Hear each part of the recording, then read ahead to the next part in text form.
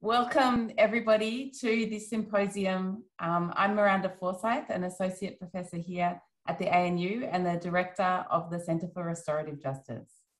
Before we start, I'd like to acknowledge and celebrate the traditional lands on which the university sits, those of the Ngunnawal and Ngambri people. It's humbling to reflect that the Ngunnawal and Ngambri people have been caring for these lands for over 25,000 years. We would also like to pay our respects to their elders, past and present, and also acknowledge the traditional lands across Australia from which participants are joining us today.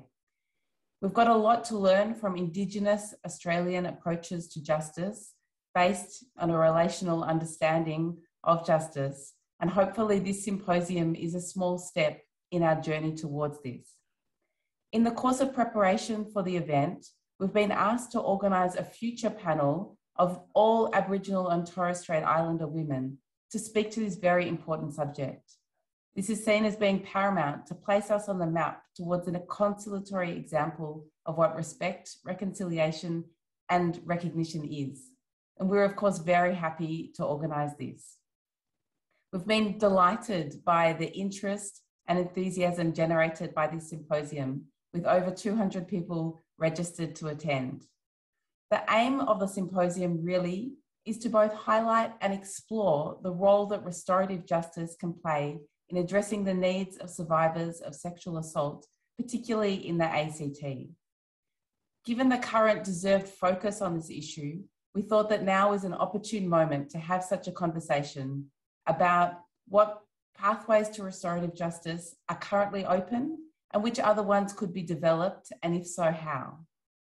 Restorative justice is an approach to harm that focuses on healing. It's also one that seeks to recognise that survivors and those who have been harmed are often embedded in our community, and that community support, resources, and insights are therefore often needed to move forward. As such, questions about restorative justice also require us to think creatively about the relationships between the community and the criminal justice system and the places that justice needs can be addressed.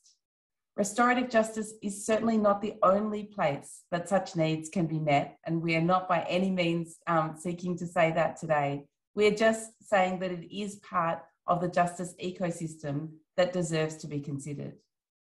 So we encourage everyone today to approach our discussions with a generous and creative mindset, opening, open to imagining new and better pathways for survivors.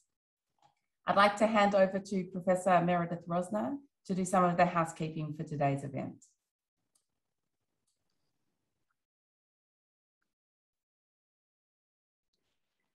Thanks so much, Miranda, um, and thanks for all of your work on this. And also, just before I do a few housekeeping, I want to thank the organizers and the panelists for their enthusiasm and their dedication. Um, I echo Miranda's um, excitement and enthusiasm that, that people are so interested in having this discussion. And really, all of our panelists um, have been so responsive and worked so hard to, to make this day come off. So thank you. And in particular, I want to thank the ANU support team who's really made this event possible. That's Naomi Snowball, Perry Chapman, Hannah Robinson, Helen Taylor, and Adam Spence. So as will be obvious to you now, the symposium is running in a webinar format. In a moment, I'll introduce Dr. Marisa Paterson, who will make some opening remarks, and we'll then hold four different panels that will explore what restorative justice in response to sexual assault currently looks like in the ACT, what are the different needs that survivors may have, examples of restorative pathways in other jurisdictions, and finally, what are the operational and legislative challenges that we currently face. The facilitator of each panel will very briefly introduce the participants before facilitating a discussion. At the end of each panel, there will be time for questions and further discussion, followed by a short break. Because we have so much ground to cover today, we will be keeping to strict time. If you want to ask a question of a panel, we ask that you use the Q&A function, which is located at the bottom of your screen. Our moderators will review and collate the questions and present them to the panelists. We also ask if you could please include your affiliation before you type out your question. And if you do not wish to use your name when asking a question, please specify this to the moderator. Now, of course, we recognize that those of us in the ACT and those of us who are joining from other parts in Australia or New Zealand are currently at home in lockdown, and that means that we all have competing pressures on our time. Um, and, and we recognize that and understand that that might have to lead to a more sort of fluid webinar and people will have to be moving in and out and that's, that's fine. Finally, just to um, mention that this webinar is being recorded and that the recording can be paused if requested. And please um, send a message to the moderator if, if that is a request that you have. So without further ado, I'd like to warmly welcome Dr. Marisa Paterson, who will open this event. Marisa is a member from Murrumbidgee in the ACT Legislative Assembly. She was also formerly our colleague here at the ANU, where she was the director of the Center for Gambling Research. Marisa is deeply committed to social justice and to helping survivors of sexual violence, and we're just so pleased to have her here today. So over to you, Marisa. Thank you very much, Meredith. Um, I would also like to begin by acknowledging uh, the Ngunnawal people on whose lands we meet today and pay my respect to elders past, present and emerging. I would also like to acknowledge um, any sexual assault survivors here today and say enough is enough. I thought I would outline my journey to get to this point today, that I am, very, I am a very interested participant in today's symposium. Sexual assault reform is something that's very important to me and something that I am a strong advocate for. Broad scale community cultural change is needed. We need action. We need legislative reform, evidence based prevention programs, education and awareness, increased victim support, with the ultimate goal of long term cultural change. However, we also need innovative thinking. We need new ideas to solve this very serious problem in our community. In all my work with stakeholders and with constituents on the ground, both men and women, the message is coming through loud and clear that we are at a critical junction. Since February this year, a seismic shift occurred in Australia. When Brittany Higgins disclosed on national TV that she was allegedly raped at Parliament House, the nation went into freefall. Allegation after allegation of rape, sexual harassment, unprofessional behaviour to say the least, was exposed exposed an entrenched culture of misogyny at Parliament House. Further to this, Chanel Contos started an online petition in New South Wales that went viral, with hundreds of young people, school children, uh, young people and school children disclosing sexual assault stemming from a sexist culture entrenched in Sydney's elite private schools. News reports daily featured disclosures of sexual assault and harassment in our parliaments, institutions, and workplaces. The media, in particular female journalists in this country, should be commended for their reporting of these stories, relentlessly pursuing the truth and holding those in powerful leadership positions accountable. In March this year, tens of thousands of women and men marched for justice at Parliament House here in Canberra and around the country, crying, Enough is enough. The voices of women marginalised, women powerless, including the voice of a woman from the grave, were held up, were heard, and were believed. I was elected in October last year, and one of the things I'm most driven to see and most passionate about is law reform around the definition of consent. Since January, I've been working with the Parliamentary Counsel Office of the ACT to draft legislation to amend the Crimes Act in the ACT to a communicative model of consent. In June, I publicly released a draft, draft amendment bill for public comment. I received very detailed and informed feedback from a range of key stakeholders and overwhelming support for the bill in the submissions and more broadly in the feedback from the community. I've taken that feedback on board and presented that to the ACT Sexual Assault Prevention and Response Program, which includes a law reform working group. This program is currently in progress, and I commend Minister Berry for moving so quickly and urgently earlier on in this year to establish a whole of government approach to addressing sexual assault and sexual violence in the ACT. A strong criminal justice response for sexual offending is important not just for victim survivors, but also for the entire community. And I feel very passionately about the need for a legislated communicative model of consent. We can have all the best education and prevention programs in the world. However, if the law does not reflect what is being taught in those programs, and more broadly, society's expectations, then I think we end up never progressing past this point. However, I also believe that law reform is only one part of the steps that need to be taken to address sexual violence in our community. 86% of victims of sexual assault in the ACT were women. This is largely a gendered issue. However, the statistics suggest that the vast majority of sexual assaults happen at the hands of a perpetrator that is known to the victim. And at a national level, the Personal Safety Survey of Australia found that this is the case for 87% of sexual assaults. These are not random acts of violence. They are calculated. Victims are groomed, manipulated, and this happens within the broader context of people's everyday lives and relationships, which I think changes how we, we may respond. The most commonly known perpetrator type was that was a previous partner, followed closely by a boyfriend or a date.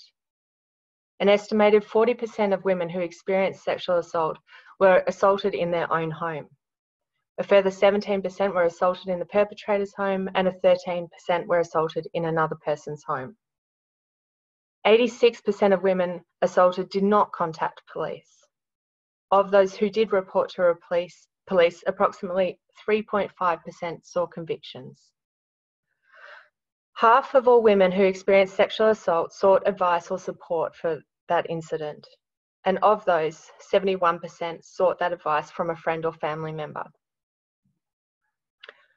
Over half of these women who experienced sexual assault felt anxiety and fear for the, their personal safety in the 12 months after that most recent incident. To summarise these statistics, women are predominantly sexually assaulted by someone they know in their own home. They do not contact police. They may talk to a trusted friend or family member, and they feel long term impacts of anxiety or fear for their personal safety. Now let's flip this. The perpetrator, what does he look like? He looks like someone you know. He knows his victim. He knows where she lives. He likely knows her friends and family. He likely has a pretty good hunch she won't call the police. As a society, we don't critique how he manipulated her, how many drinks he bought her, how he put immense pressure on her to go home, especially to her house, where perhaps she thought she might feel more control more safe. The perpetrators of this violence in our community need to be put squarely in the frame, and systemic broad cultural change is required. I've bent my brain trying to think about how we might do things differently. And the key to doing things differently and doing things well is listening to survivors, understanding their experiences and their needs.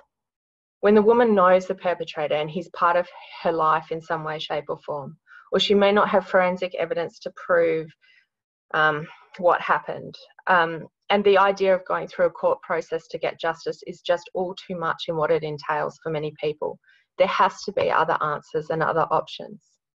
Another answer or another option that is restorative, that is empowering, that seeks justice and validation my journey has led me very naturally to survivor led restorative justice. So I started reaching out to this amazing community of restorative justice researchers, advocates, and practitioners, and here I am today. And I commend Meredith and Miranda for pulling this all together so quickly and turning it into an online event so quickly.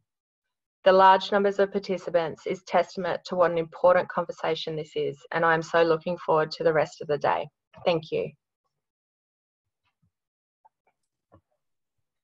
Well, thank you so much for that um, for that welcome, um, and it's really set us up, I think, for the discussion that's going to follow. I'm um, very happy now to introduce the next, the first panel, uh, which is going to be really setting the scene for what is the current um, pathway to restorative justice uh, in the ACT delighted that we've um, got Matisse Coyle, who's going to be joining us, who is um, a former participant of a restorative justice conference and a survivor. Professor John Braithwaite, an emeritus professor here at the Australian National University. Uh, Ms. Amanda Lutz, who is the previous uh, head of the ACT Restorative Justice Unit, and Mr. Richard Denning, who is the current head of the Restorative Justice Unit, and also Ms. Heather Page, who is a facilitator in the Restorative Justice Unit and who has got many, many years of experience uh, working as a facilitator.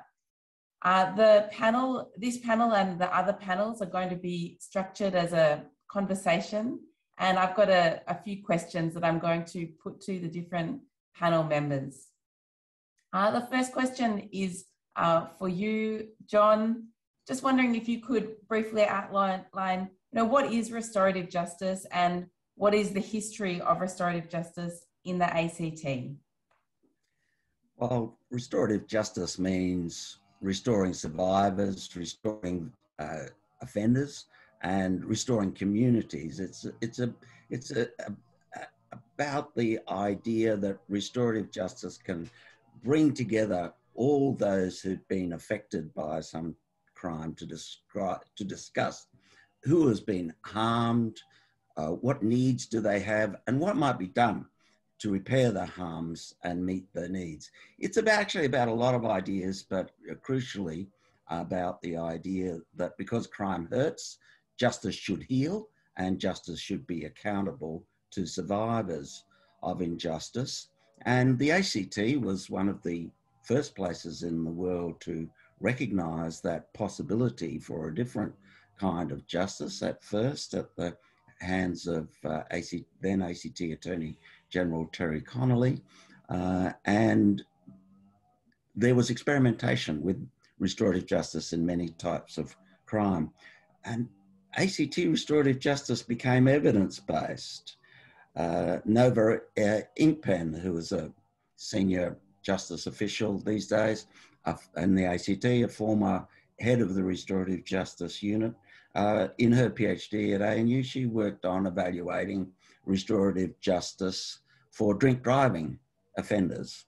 Uh, that experiment was a failure, uh, not only in terms of its impact on offenders, but on uh, on on survivors. I, I, won't go into why, but as a result of that research, I think the ACT has been the only place in the world that experimented with restorative justice for drink driving and the results, uh, including in Nova's research, is one reason why nowhere else in the world. Uh, early on, Terry Connolly decided that there would not be, uh, from 1994, uh, that there would not be initially, certainly not initially, restorative justice for gendered violence cases. Um, that thinking, including by Terry and others, began to change when while experiments like that on drink driving failed, the highest impact experiment uh, led by Sherman and Strang was on violence cases. So the question began to be asked in policy circles, well, if restorative justice is most effective in violence cases in the ACT, and that then that result was replicated uh, in uh, in Britain uh, by our team, and these were effects of a 40% reduction in reoffending, which were much higher than with the property offences. If that's the case, that that's where they work more effectively, and is it just uh, to deny the possibility of restorative justice in uh, in uh, cases of gendered uh, violence? And so the thinking changed very much in the direction you outlined, Miranda, at the beginning, and saying, look, uh, access to justice uh, in cases of sexual assault in the ACT is unsatisfactory in terms of access to the justice of the court, access to restorative justice, and access to the justice of support in the community. And we need to improve access to all kinds of justice. And so uh, my colleagues will move on to explain uh, the more recent history, um, uh, particularly Amanda, I guess, of how uh, uh, uh, how we moved step by step to make restorative justice more more available to these cases. And I might finish by saying the evidence has become stronger and more encouraging, including in cases of gendered violence uh, in recent years. And if there's, uh, if there's time to discuss that most recent evidence, uh, I'll be pleased to do so. But I think we should move on instead. Thanks so much, John. Well, maybe I'll turn to Amanda now. Amanda, if you could um, take us through how the ACT got into what is now called stage phase three, where um, sexual assault and um, domestic violence are now covered um, under the um, Restorative Justice Unit and the legislation. Thanks, Miranda. Hi, everybody. Um, it's great to be here on Ngunnawal land, joining you all in this very important conversation. So I guess I, have been um, lucky enough to be and privileged enough to be um, in the Justice and Community Safety Directorate at a very exciting time.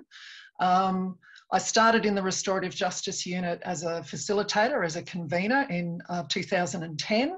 And at that stage, it was only um, available for uh, people who were uh, impacted by the crimes of young people and, and technically less serious crimes.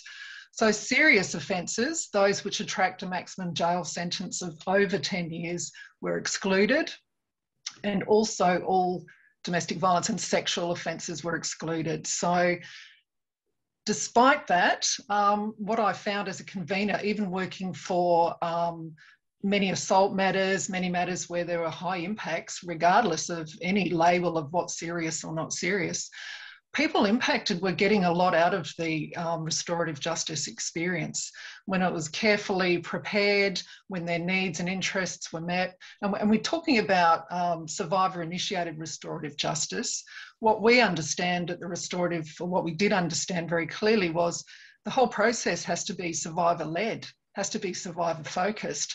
Can't just, it's not just about um, where the referral comes from or who has the idea initially, although it's obviously more powerful when that comes from the person impacted.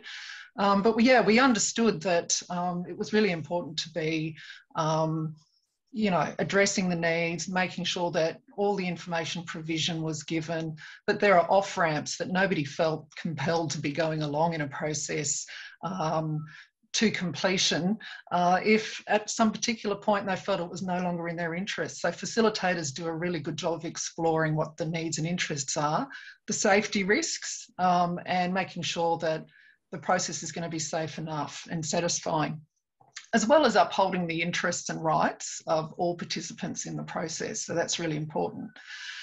So um, when I became the uh, manager of the unit in 2014, um, we we coincided with another. This coincided with another sentencing inquiry, and we put a budget bid in because we knew we were going to need a lot more resource if we were hoping to move into making restorative justice available for um, people impacted by serious offences, including sexual assaults. So we had to embark on a, a campaign of awareness and information and sharing uh, research. We invited Rob Hulls, the former Attorney General in Victoria, to come and talk about innovative responses to sexual assault. Um, he was heading up the Centre for Innovative Justice at the RMIT at that stage. So we had about 80 people come to that we kicked in with a lot more consultation uh, with our with our stakeholders. We had a lot of champions um, across the criminal justice system and and also community agencies who were interested in progressing restorative justice for um, for more survivors and, and, victims and people impacted.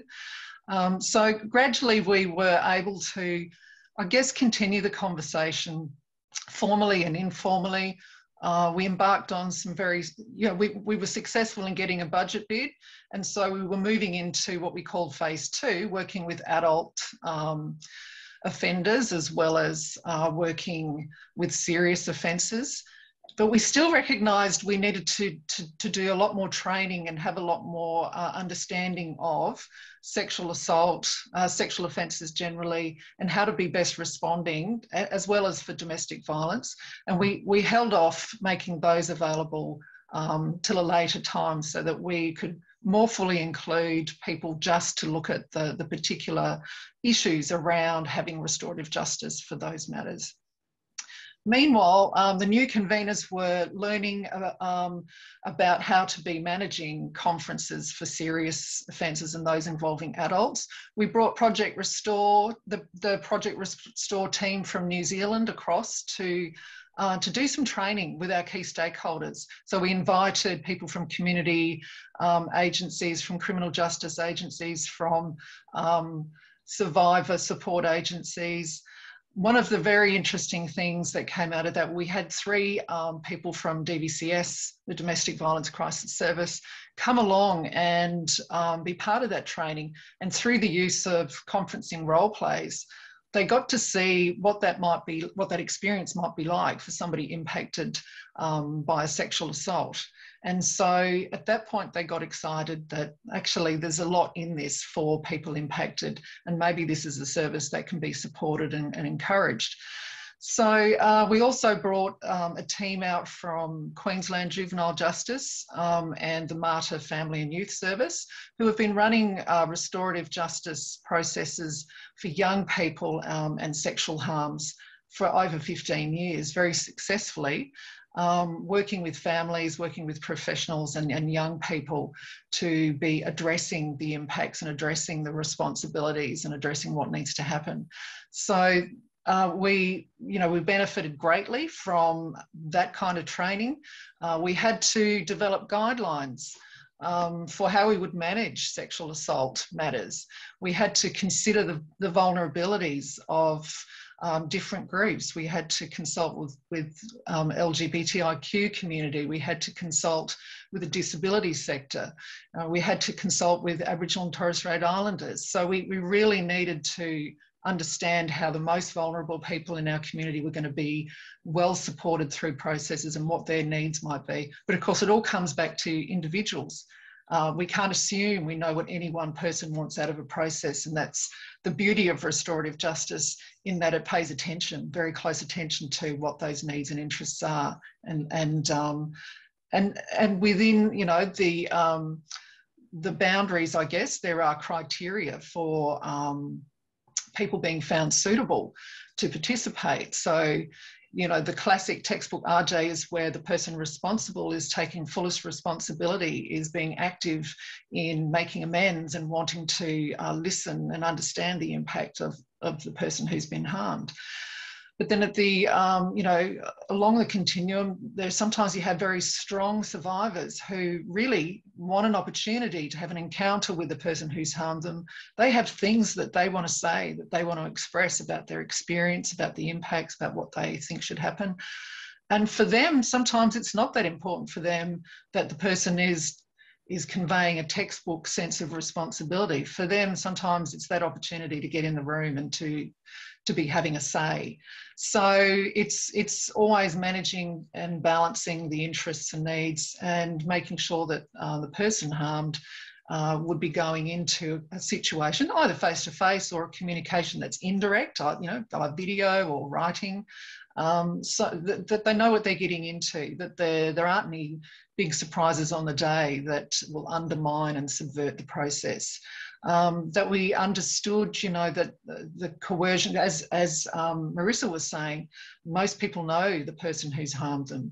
You know, the potential for coercion, the potential for um, power imbalance is huge. And so facilitators needed to have all of the training to give them that awareness of how to manage those matters, how to call it out in a conference, um, how to ensure that there are enough people supporting, both in an informal uh, community of care capacity and also bringing professionals so that we, we saw it as RJ Plus, that we were adding a lot more support opportunities and that uh, there was a, a, very strong focus on being really ready to um, counter any of those subversive elements that might come through the process. So finally, um, in two, November 2018, we moved into phase three. And, um, you know, I think overwhelmingly what we found, and the Restorative Justice Unit's been very good at evaluating its own service um, and reporting back. It's obviously legislative, legislatively obligated to report to its referring entities and provide annual reports um, that, that speak to the satisfaction or dissatisfaction of people that go through the process. And even with the inclusion of sexual assaults and um, domestic violence in phase three, um, the unit's been able to maintain a very high degree of satisfaction at around 97%. So the quality is there. Um, there's two conveners allocated to every um, sexual offence matter. So um, the focus in the, in the restorative justice area is always to maintain a quality service that is listening, that is paying attention to the individual needs uh, of its participants. And so I might leave it there. I think I've talked enough too. Thanks, Amanda. I might um, then turn to Richard and just ask him to to pick up from um, from where you you've given us the a great background as to how we got to um, to phase three. Richard, if you could just explain what are the different um, pathways that currently exist at the moment um, to restorative justice. Absolutely. So, um, and uh, thanks, Amanda. Thanks, John. I'm a relatively new addition to the restorative justice unit, so I'm very happy to ride um, Amanda's coattails um, today and in general. um, so since the commencement of phase three, the Restorative Justice Unit uh, can accept referrals for sexual offences at any stage of the formal, formal criminal justice system, from police investigation all the way through to the completion of an order related to the sentence of the court. So these referrals can be received from criminal justice agencies and actors, um, but victim survivors can also approach the Restorative Justice Unit directly and we can facilitate a referral. Uh, in general, restorative justice processes follow in parallel to the criminal justice process here in the ACT. However, for less serious offending, police can make a diversion, uh, which, if there's a conference which satisfies the victim survivor's needs and any outcomes are fully complied with, um, this may be the end of the formal criminal justice response. So um, obviously there are relatively few sexual offences which fit into this category of less serious. Um, however, diversions have occurred um, and in these cases and others involving gender-based violence um, in particular, we're careful not to treat offences in isolation um, and we can help shape an accountability process which incorporates broader patterns of behaviour, which may or may not have been the subject of a charge. Um, additionally, we know that the harm suffered by victim survivors is rarely captured by the seriousness of any offence and is often compounded by previous instances of harm. Uh, so we're really, really um, mindful of that. Um, despite commencing in November 2018, we're still building awareness in the community about the availability of restorative justice for sexual offences and also building um, understanding and trust with our referral partners and also with the community sector. Um, so in 2019-20, we received um, five referrals for sexual offences and um, I believe the same number the year before. Um, as, as Amanda has said though, we, we've gotten more referrals, I would say, for um, family family violence offences. Um, but notwithstanding uh, moving into this more uh, this space, working with more serious offences, our satisfaction rate has maintained ex an extremely high level, as has our compliance with outcomes as well. Thanks very much, Richard. I might turn now to Heather, just to ask you, Heather, if you could outline um, how a restorative process usually runs, and in particular, how one would run um, in the context of a, a, sexual assault matter. Thanks, Miranda. Uh, so once we receive a referral, conveners meet with the participants over a number of weeks um, before a conference to find out what the needs and the interests of the victim survivor are and whether there's a likelihood that the offender will be able to respond in a way that will meet those needs. We refer to the perpetrator as the person responsible and the victim survivor as the person harmed, but today I'll use the terms perpetrator and victim survivor. Um, so during a conference, the perpetrator would speak first. This is to reassure the group that the perpetrator is taking responsibility because that's why everyone's there to hear that. The perpetrator is given an opportunity to talk about their actions, to reflect on what they did and why. Then the victim survivor is able to talk about the impacts on them and the people close to them. They might also have questions they want to ask. Supporters will be asked about what they've noticed and how they've been impacted. And then we'd talk about possible agreements and tasks the perpetrator could commit to in order to make things better.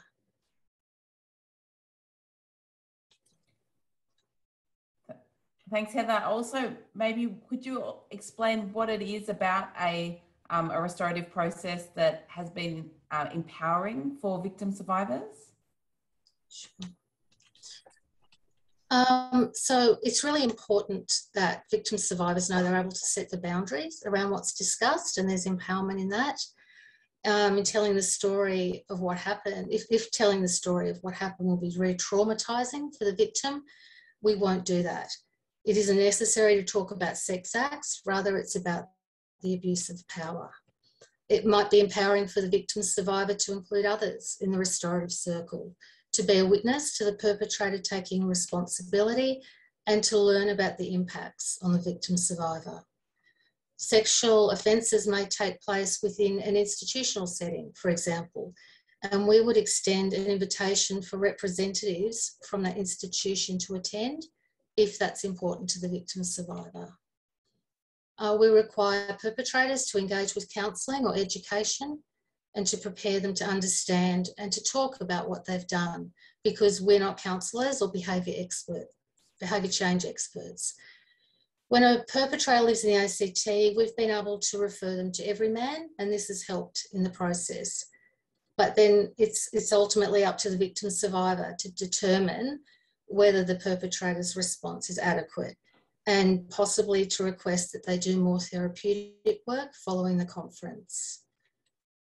Um, we encourage the inclusion of family, friends, or close others in the restorative circle because sexual violence has impacts not only on the victim survivor, but also the people close to them.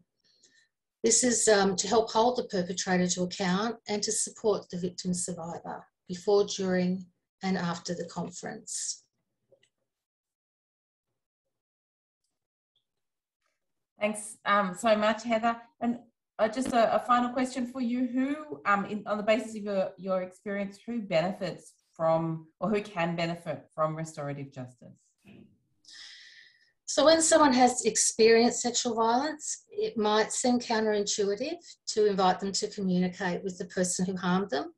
But for many victim survivors, they have questions which can only be answered by the perpetrator it's appropriate for them to be angry and to want to express that anger towards the perpetrator during a conference.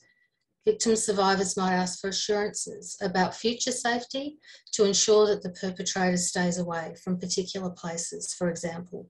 They can request that the perpetrator commits to actions to repair the harm, such as reimbursing for costs associated with the offence or a commitment to behaviour change most sexual offences take place within relationships, and so the harm is also relational in the form of a profound breach of trust. So, for some people, the repair also needs to be relational. But that doesn't mean it's about people hugging and making up.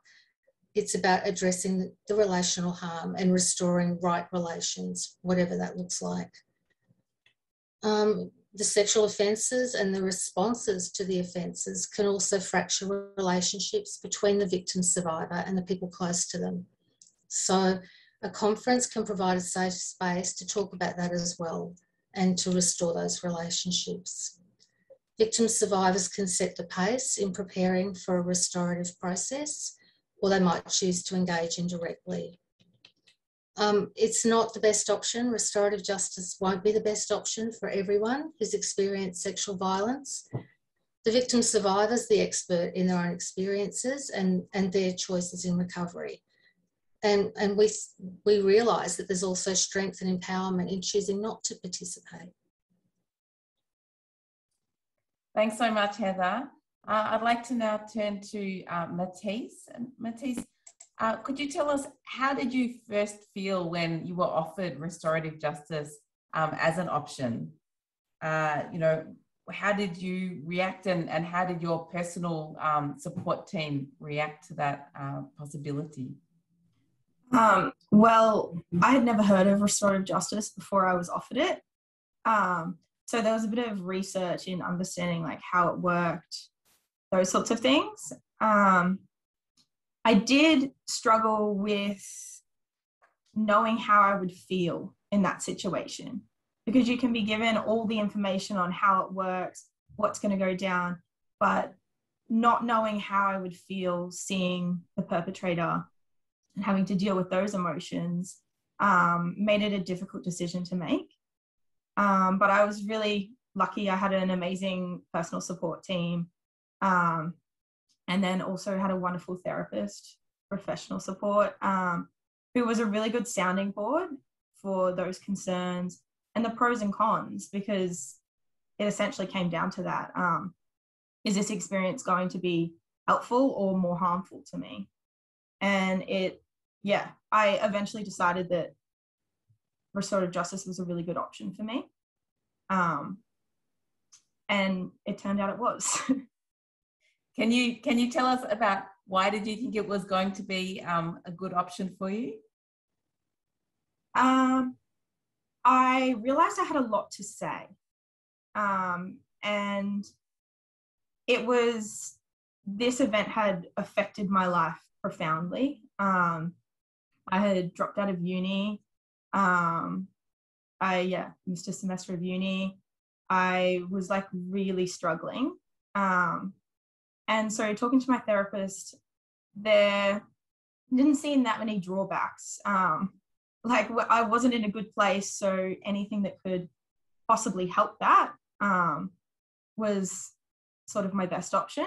And also, um, as Heather referred to before, um, I could also get reimbursed for uni and therapy is not uh, not cheap. Um, so those sorts of things also made it, yeah, quite a quite an easy decision in the end. But it did take a bit of thought. And and what was the process like for you that that you went through, just in general terms? Um, in like a word, I would say supportive. Um, because I was helped through absolutely everything and I was given options at every point. Um, it was all catered to me. And when the options didn't fit, a personal option was made. Um, little things like um, being neurodiverse. So, catering towards that in my face to face meeting, um, I was allowed to have like a desk so I could do writing um, to help me focus, little things like that. Um, the conveners going out of their way to make everything a positive experience for me. Um, so I, we had a lot of, um, it was during COVID times, it happened earlier this year. Um, so lots of Zoom meetings beforehand, um, and then culminating in like a three hour face to face meeting, um, which was probably quite long, but we had lots of breaks and I could leave that room feeling like I had said everything I needed to say. And what were some of the, the hardest things for you and, and some of the best things from this process? Um, I definitely touched on it before. The not knowing um, how I was going to feel in that situation. I don't think anybody can prepare you. Um, but I've worked with Heather to um, write some of my personal accounts to go on the RJ website so that somebody in my situation can read an experience because I didn't have that option. Um, I was given the rundown on how everything worked, but actually knowing those things, I don't think you can ever know, but somebody having like a better idea of how it affected me, um, I thought could be positive because I did find that difficult. Um, and the positives were numerous. um, but I think the big one was being able to look the perpetrator in the eyes and tell them about all the harm they'd done. And leaving that room, it might sound cliche, but I definitely felt a weight lifted off. Um, and I don't really know how else to put that without sounding cliche. Um, because I felt less tied to that event. Um, that I could breathe a bit easier and that it wasn't holding me down. Um, and definitely after the event, the like reoccurring thoughts and those sorts of things were a lot easier to deal with. So re- reflecting and you know, thank you for being so amazingly articulate about about all of these experiences. Um, so just reflecting on what you've gone through now, you've said that you are going to put some of your experiences on the website so that others can hear about it. But what sort of um, what do would you have to say about uh, you know would you recommend this to uh, other survivors of, of sexual assault? Or what would you have to say if somebody came to you asking for um, your advice? Um, i would wholeheartedly recommend everyone to consider it i understand that it's not going to be for everyone um, but there are so many options within restorative justice you don't ever have to feel forced to face somebody face to face. There are lots of other indirect options. And I think my experiences, the comparison between my experience with the police and my experience with RJ were night and day. Um, with RJ, everything was led by me and catered to me, um, which, as somebody who is queer and neurodiverse, um, the police environment was difficult for me to deal with. Um, and I did have a professional support person when I was dealing with the police, but um, it wasn't quite the same approach. And I think that um, the restorative justice approach really suited me. And when I was in that state of mind and I had gone through that experience, um, I needed somebody to listen and to be in control and to feel in control in that situation. And when I was dealing with the police, I didn't feel that. Um, but when I was with restorative justice, I completely felt in control. In um, my conference, I was confident and easily able to call out my perpetrator when things didn't line up or they weren't taking responsibility for their actions.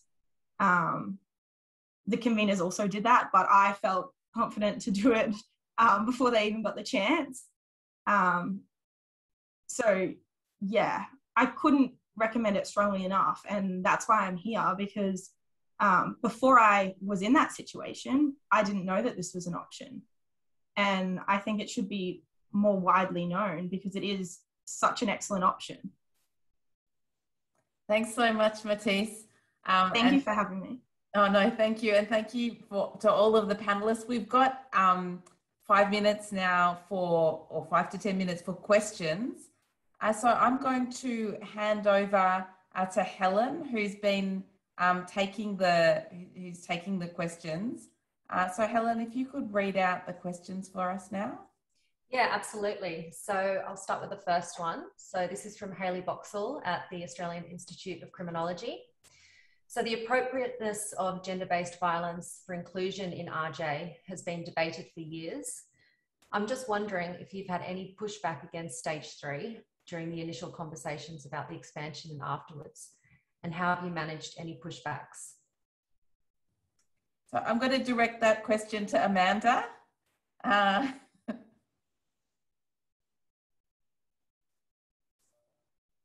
Sorry, just unmuting. Um, yeah, yeah, of course there, has been pushback. And so it was, it's been a very lively debate and discussion. And I think a lot of the pushback comes from people who envisage the top end worst case scenario of putting uh, a survivor in the room with a, a, perpetrator without preparation or without the the safety frameworks and the and the um, you know the trained facilitation. So um, and I think that often, and people perhaps who work in the crisis point um, are very much concerned with other things rather than bringing, um, you know, uh, up a service that, that anticipates an encounter between the two. And I guess criminal justice agencies also, uh, early on especially, have feel an obligation to be minimising any contact between um, people harmed and, and those responsible. So yeah, we definitely did. I think what was heartening was that we had a lot of support from human rights area that saw the absolute um, need to be upholding the interests um, victims of crime and empowering them as well as acknowledging the need for protection. Protection is important, but we can overdo that and start to oppress people and, and limit their, their options. So I think just continuing the conversation, and it's so heartening to hear Matisse speak today to see um, that all the all the work that went into it um, has led to people, you know, being able to access the service and genuinely benefit from it. So very heartening. Thanks, Matisse. Thanks, Amanda. Uh, Helen, another question, or unless did, did Richard or um, Heather, did you have anything you wanted to add to that? Okay. Uh, yeah, Helen, another question. Okay, so the next one's um, for Richard Denning, and this is from Rhiannon McGlynn, who's the Supreme Court Associate. Does restorative justice referral during the police investigation prejudice the outcome of the criminal matter? And is it typically that the referral is made and the RJ process does not commence until the completion of the matter? So, um, in terms of those referrals at the police stage, um, those will the risk of kind of, uh, I guess, polluting the evidence in a criminal matter. Um, and so, uh, from from talking with police I understand that this is something that they are very aware of um, and that they talk to victim survivors about um, at the stage of, of that referral. Um, the, the issue can be around um, the communication between, and I have to be, I'm not a lawyer, so I, I, can't, I can't give a really definitive account on this.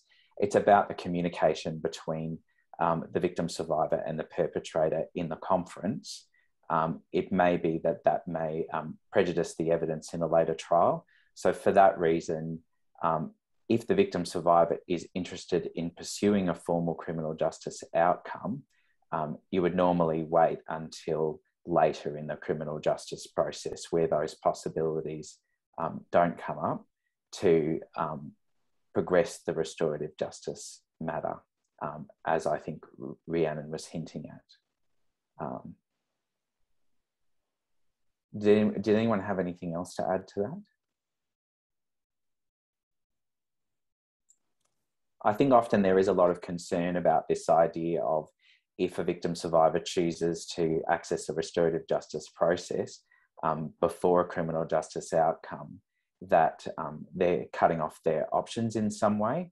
Um, I think that's kind of like any decision that any of us have to make um, we reach juncture points where we kind of have to choose one direction or another. And as long as a victim survivor understands what the potential consequences of their choice are, um, my view would be that we need to support them to go on the path that best meets their needs. Thanks, Richard. I think that these are some of the issues that are also going to be addressed in the last panel too. Uh, so, uh, Helen, another question, and we, actually we've probably got time for two more. So maybe could you could you read out two questions and then we'll um, ask the panelists to answer. Okay, no problem. Uh, so the third question um, is is from an anonymous um, attendee. Can you ask for restorative justice if the perpetrator has not taken responsibility? At what point or points is it effective to ask for RJ? And then maybe I'll turn to Heather to answer that question. Uh, so the, the first thing that we're assessing um, when we meet with the perpetrator is whether they are taking responsibility because we we understand that it's going to be more harmful for the victim survivor if if the person responsible is making excuses if they're minimizing if they're not taking full responsibility we, would have to consider whether it's actually suitable for restorative justice we do do quite a lot of work with uh, perpetrators to prepare them. And sometimes there is some level of perhaps minimization. So that's where the preparation work comes in. And in these sort of cases, we would um, seek to refer them to um, support agencies who might be able to help them to do that. But um, if they're not taking responsibility, I think we would consider that it's not suitable for restorative justice. So.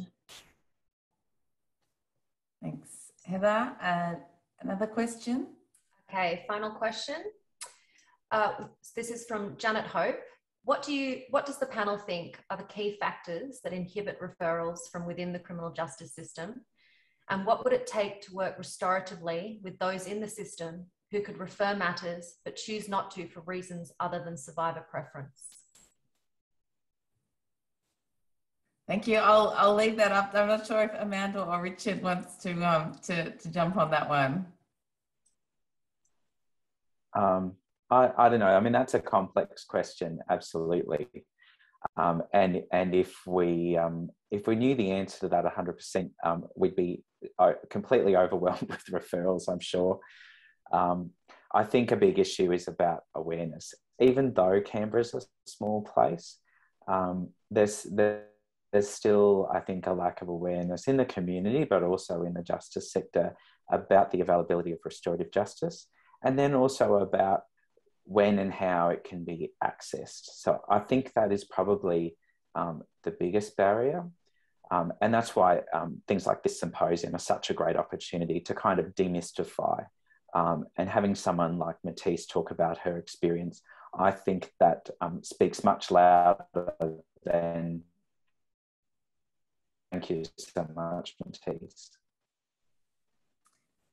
Thanks, um, thanks, Richard. Well, we're going to, oh, John, did you have something you wanted to add there? I was going to say that, the, the last question, I think, goes to one of the issues, and that is acceptance of responsibility. The ACT Restorative Justice Act has a, a particular uh, you know, well developed, and I think one that works well, as Heather's comments show, approach to responsibility.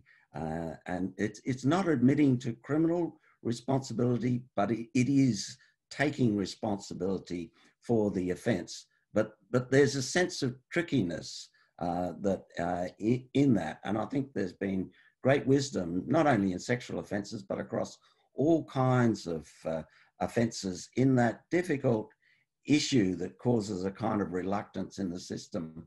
Well, this person is admitting to responsibility, uh, but they don't want to make formal criminal admissions as they are required to do in some other uh, uh, jurisdiction. So uh, I, I, think people in the system are concerned that they're not seen as setting a trap for the offender and putting them into a kind of a, a double jeopardy.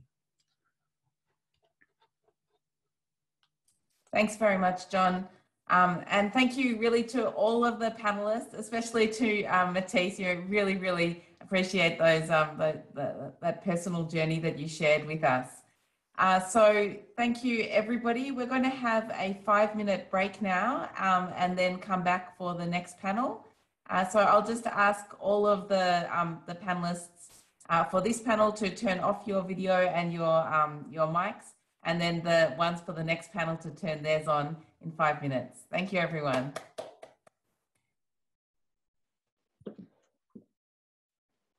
Hi, everyone. Um, can I invite um, Paula and Sue and Eve and Nina to switch their cameras on?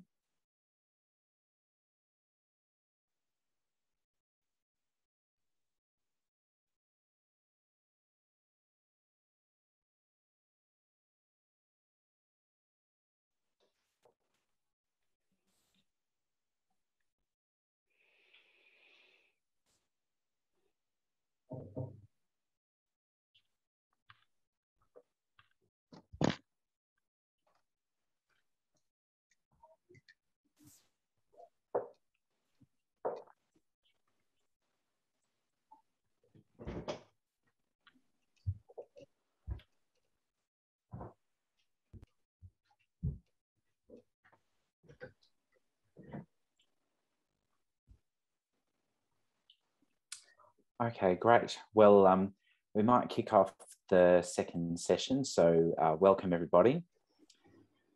Um, so this second panel is about understanding the needs of survivors of sexual assault and harassment. Um, and before I started, I also wanted to acknowledge that I'm on Ngunnawal country and acknowledge the elders past and present, and acknowledge the Aboriginal and Torres Strait Islander people who are on the panels and who are listening at home as well. I'd also like to acknowledge the toll that sexual violence has taken on Aboriginal and Torres Strait Islander women and communities, including um, sexual violence as a feature of colonisation, along with the dismantling of long existing sexual violence prevention and response mechanisms. I'd also like to acknowledge that the experiences of Indigenous survivors have often not been reflected in the anti sexual violence movement, as well as the way that these experiences have at times been manipulated to justify greater disruption and intrusion in Aboriginal and Torres Strait Islander people's lives. Um, and I just wanted to um, open it up to the panel if they wanted to offer any acknowledgement for, in their particular location as well. Yes, I'm happy to. Yes, yep. and I'm coming from Darkinjung country. So yeah, so I'm um, I'm Kamilaroi Bigambul and on Ngunnawal Ngambri lands. I too am on Ngunnawal and Ngambri land. I too am on beautiful Ngunnawal country. Um, I would also um, like to take a moment. Um, we had two uh, representatives from community who were originally approached to be engaged in this panel. Um, and Tracy and Rochelle from Sisters in Spirit Aboriginal Corporation have asked I provide this dialogue which they have pre prepared um, and I'm incredibly privileged to do so. Um, as women in the community and directors of Sisters in Spirit Aboriginal Corporation, Tracy and Rochelle, who are invited to speak on this panel, have called for a future panel dedicated to Aboriginal and Torres Strait Islander women. As they are committed to the importance of upholding Aboriginal and Torres Strait Islander women's cultural obligation for representation of the many views that can currently exist regarding the specialised and cultural competency in services to begin to address the right to have a justice related outcome of sexual assault victims. And in their voice, especially given the historic background for Aboriginal and Torres Strait Islander families in this country and still today. Let's be clear that we are saying it is an honour in our respective communities to carry important messages and to participate in these events. But we do not do this without initial discussions with our experts Aboriginal and Torres Strait Islander women in this community here and seek direction from the eldership that exists in our community today and time immemorial.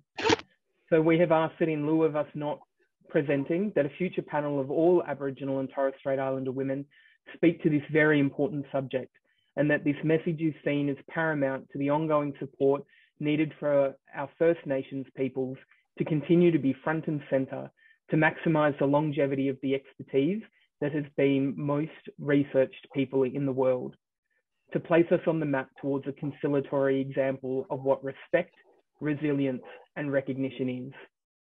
They have sent their well wishes to the panel, and they certainly look forward to engaging with the Restorative Justice Unit alongside the Sisters in Spirit Aboriginal Corporation Board of Directors. Thank you.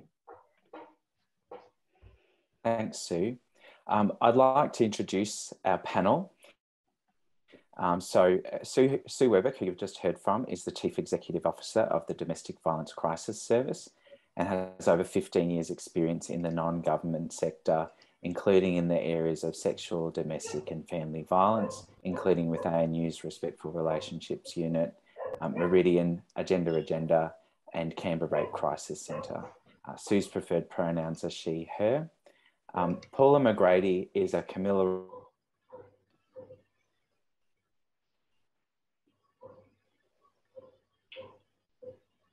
Paula has lived in ACT for close to 17 years um, in Canberra, and she calls this place her home and community away from where her, she originally comes from. When Paula first moved to Canberra, she worked at, for Doris Women and Children's Refuge, including several other youth um, refuges within the ACT as a second job. Paula worked full time and currently as a casual worker with the Canberra Rape Crisis Centre. Um, Paula also worked with the, uh, as the family engagement officer at, at Bimberi um, Youth Detention Centre Um, for over five years, Paula currently works for Community Services Directorate in Child Protection, but continues to work casually with the Canberra Rape Crisis Centre. Paula loves to immerse herself in community and believes in staying connected to the Aboriginal and Torres Strait Islander community where she chooses to live, as it keeps her real um, to her identity and upbringing and the responsibility to her community she values. Um, she is grounded always by her peers and the people she works with. They're the ones that support the most disadvantaged or in need across the ACT, and this is where Paula thrives best. Nina Fennell is a Walkley Award winning journalist, author, and sexual assault survivor advocate. She's a director of End, End Rape on Campus Australia and was lead author of the Red Zone Report. Nina is the creator and manager of the Let Her Speak campaign, for which she has been awarded three Walkley Awards and a Kennedy Award. She's currently writing a book titled Let Her Speak, due out in 2022 through HarperCollins.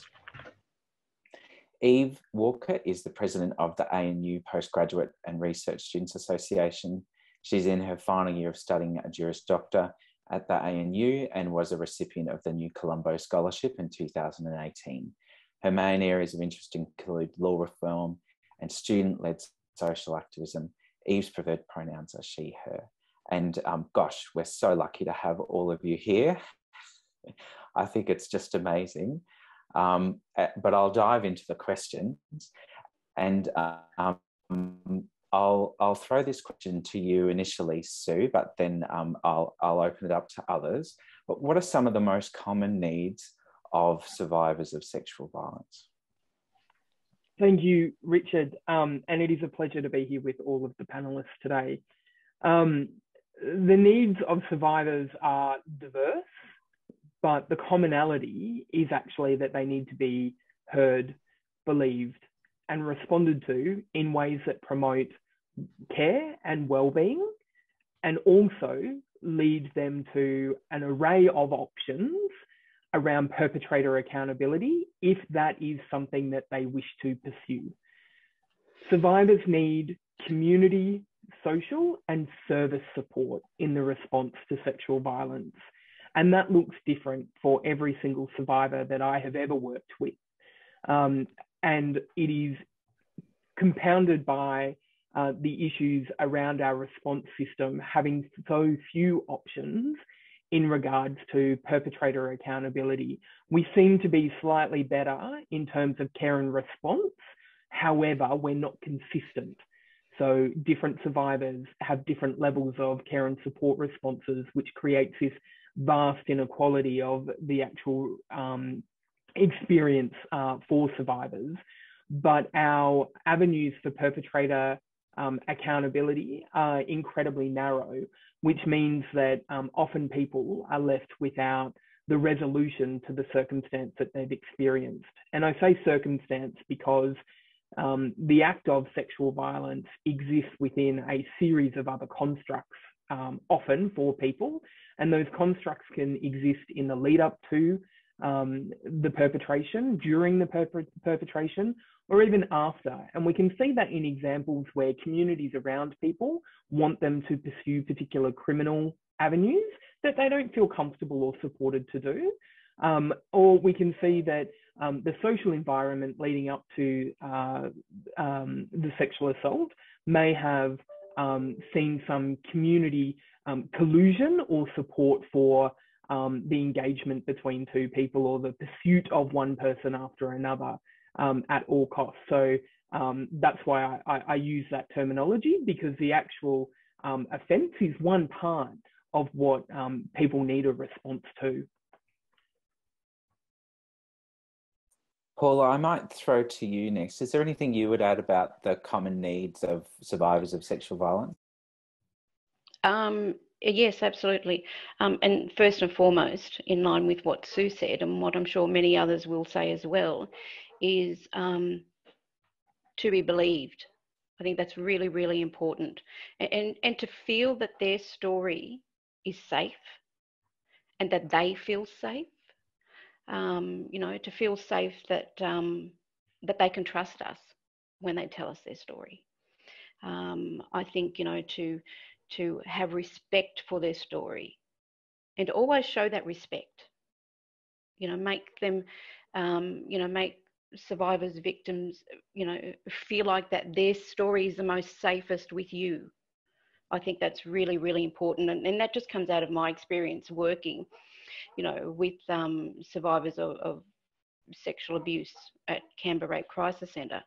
Um, and I also think um, consistency with uh, support workers, with um, with uh, you know the counsellors, uh, police. I think um, the less time a survivor has to tell their story, um, you know, obviously the the better that will be for their you know mental well-being. But there, you know, there's some of the basic things I think, and I don't mean that disrespectfully by saying basic, but there's some of the needs that are the, that are so important um, to that survivor, to that person telling that story, to that person calling up for the first time, you know, whether it's through one of our mediums in um, via a crisis line to say what's happened to them, whether it's just happened, whether it's happened 20 years ago, whether it's happened 60 years ago, mm. and we get those stories. But um, I think those fundamentals are very, very important. Nina, what, what would you add to that list?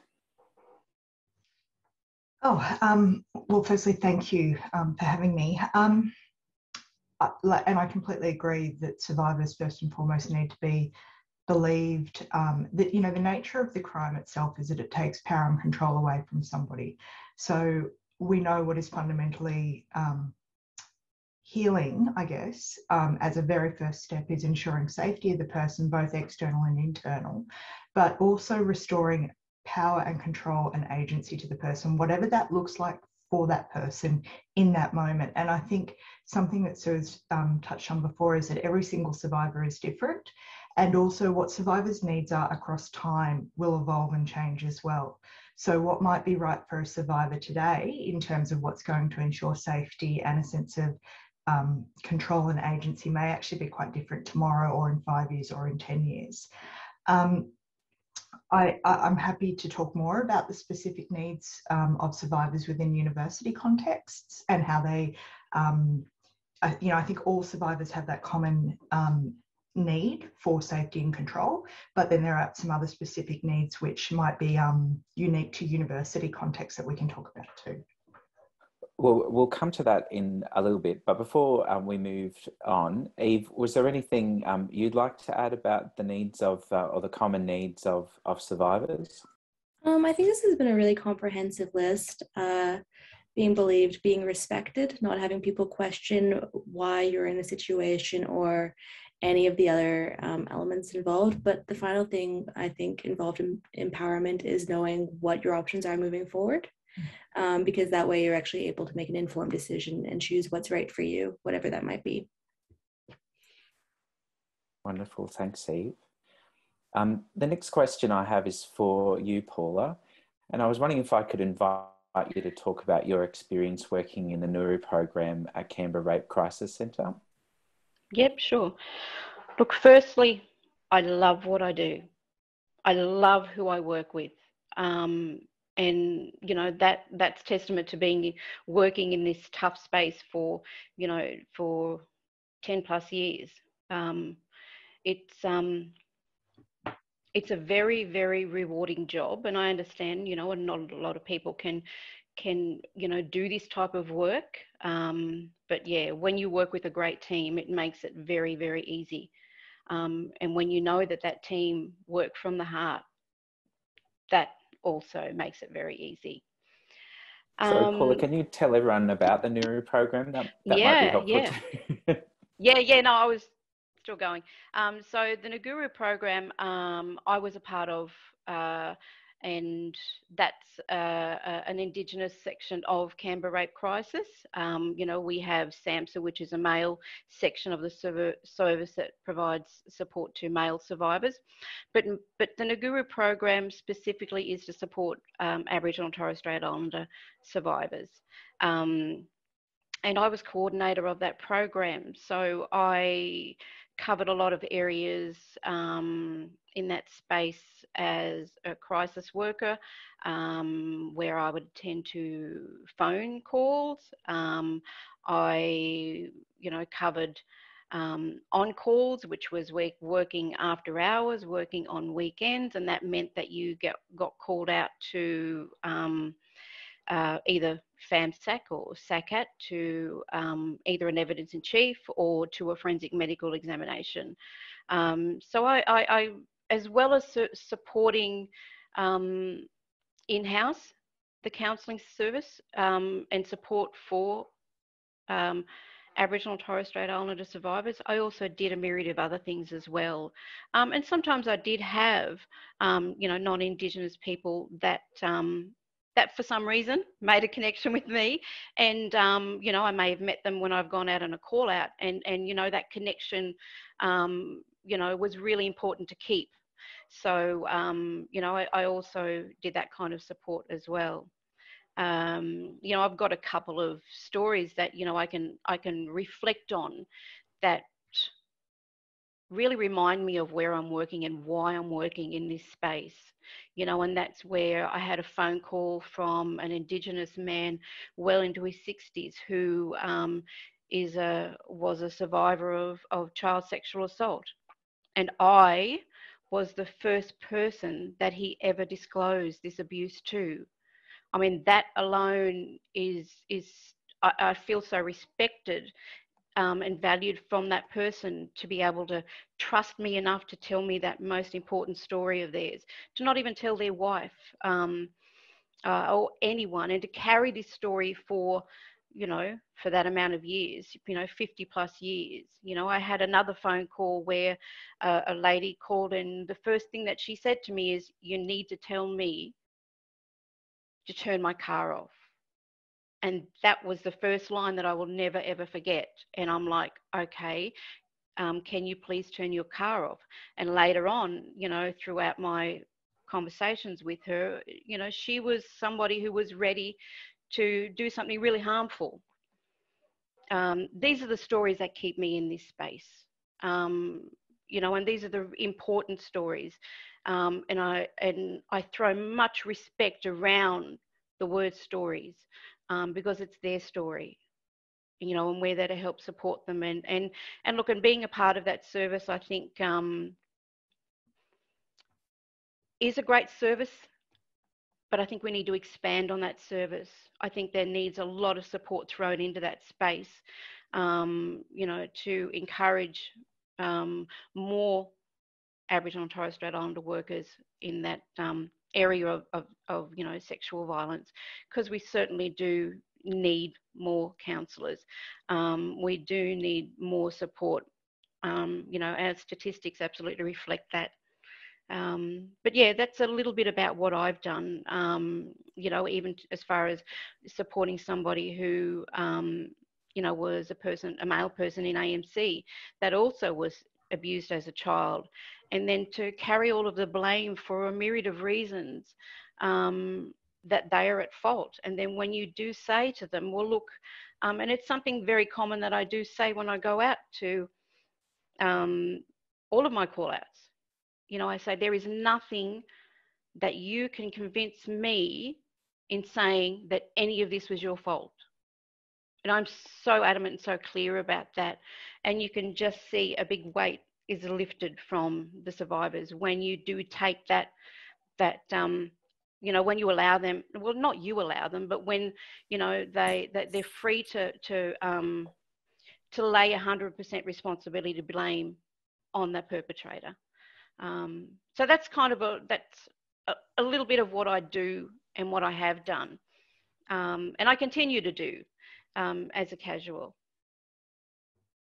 and Paul, in your experience, um, what are what are some of the needs of survivors that may be unique or different for Aboriginal and Torres Strait Islander people? Um, privacy. Uh, you know, fear, shame, self blame. You know, the being labelled, being ostracised. You know, the the the retribution from family, from community, from from the perpetrator, and all this is wound up in the way we live in our community. So um, you know th- those um, those things are so important because we generally all know each other in community, and privacy is very very important. Um, and even though they, you know, they're, they're things, they're things that are, are, are really highlighted um, because of our close knit community and how we live. Um, you know, I'd like to see, um, you know, sex offender programs be a little bit more out there in community. Um, to and I think you know I think this approach needs to be a, a community approach. You know, I think we all need to be on the same page and give the same message. Um, I'm very, very big on on on visualizing and being visual in seeing things. Um, you know, one of the things that I was happy to be involved in was um, one of our ACT buses. You know, has um, the back of the bus has the Nguru program, has um, you know, an advertisement of what Canberra Rape Crisis is, you know, um, SAMSSA, all of the services in that program. So, um, you know, it's just about being out there and, and being real and telling the story for what it is. Um, I'd like to see a story that's um, that you know that is real that can be confronting for society, that can be confronting for community. Um, but if that if that confrontation confrontation for society, you know, offends us and upsets us, you know, this amount, imagine how it feels for a survivor. So let's not make an ad like the milkshake ad. Let's make an ad and make it real.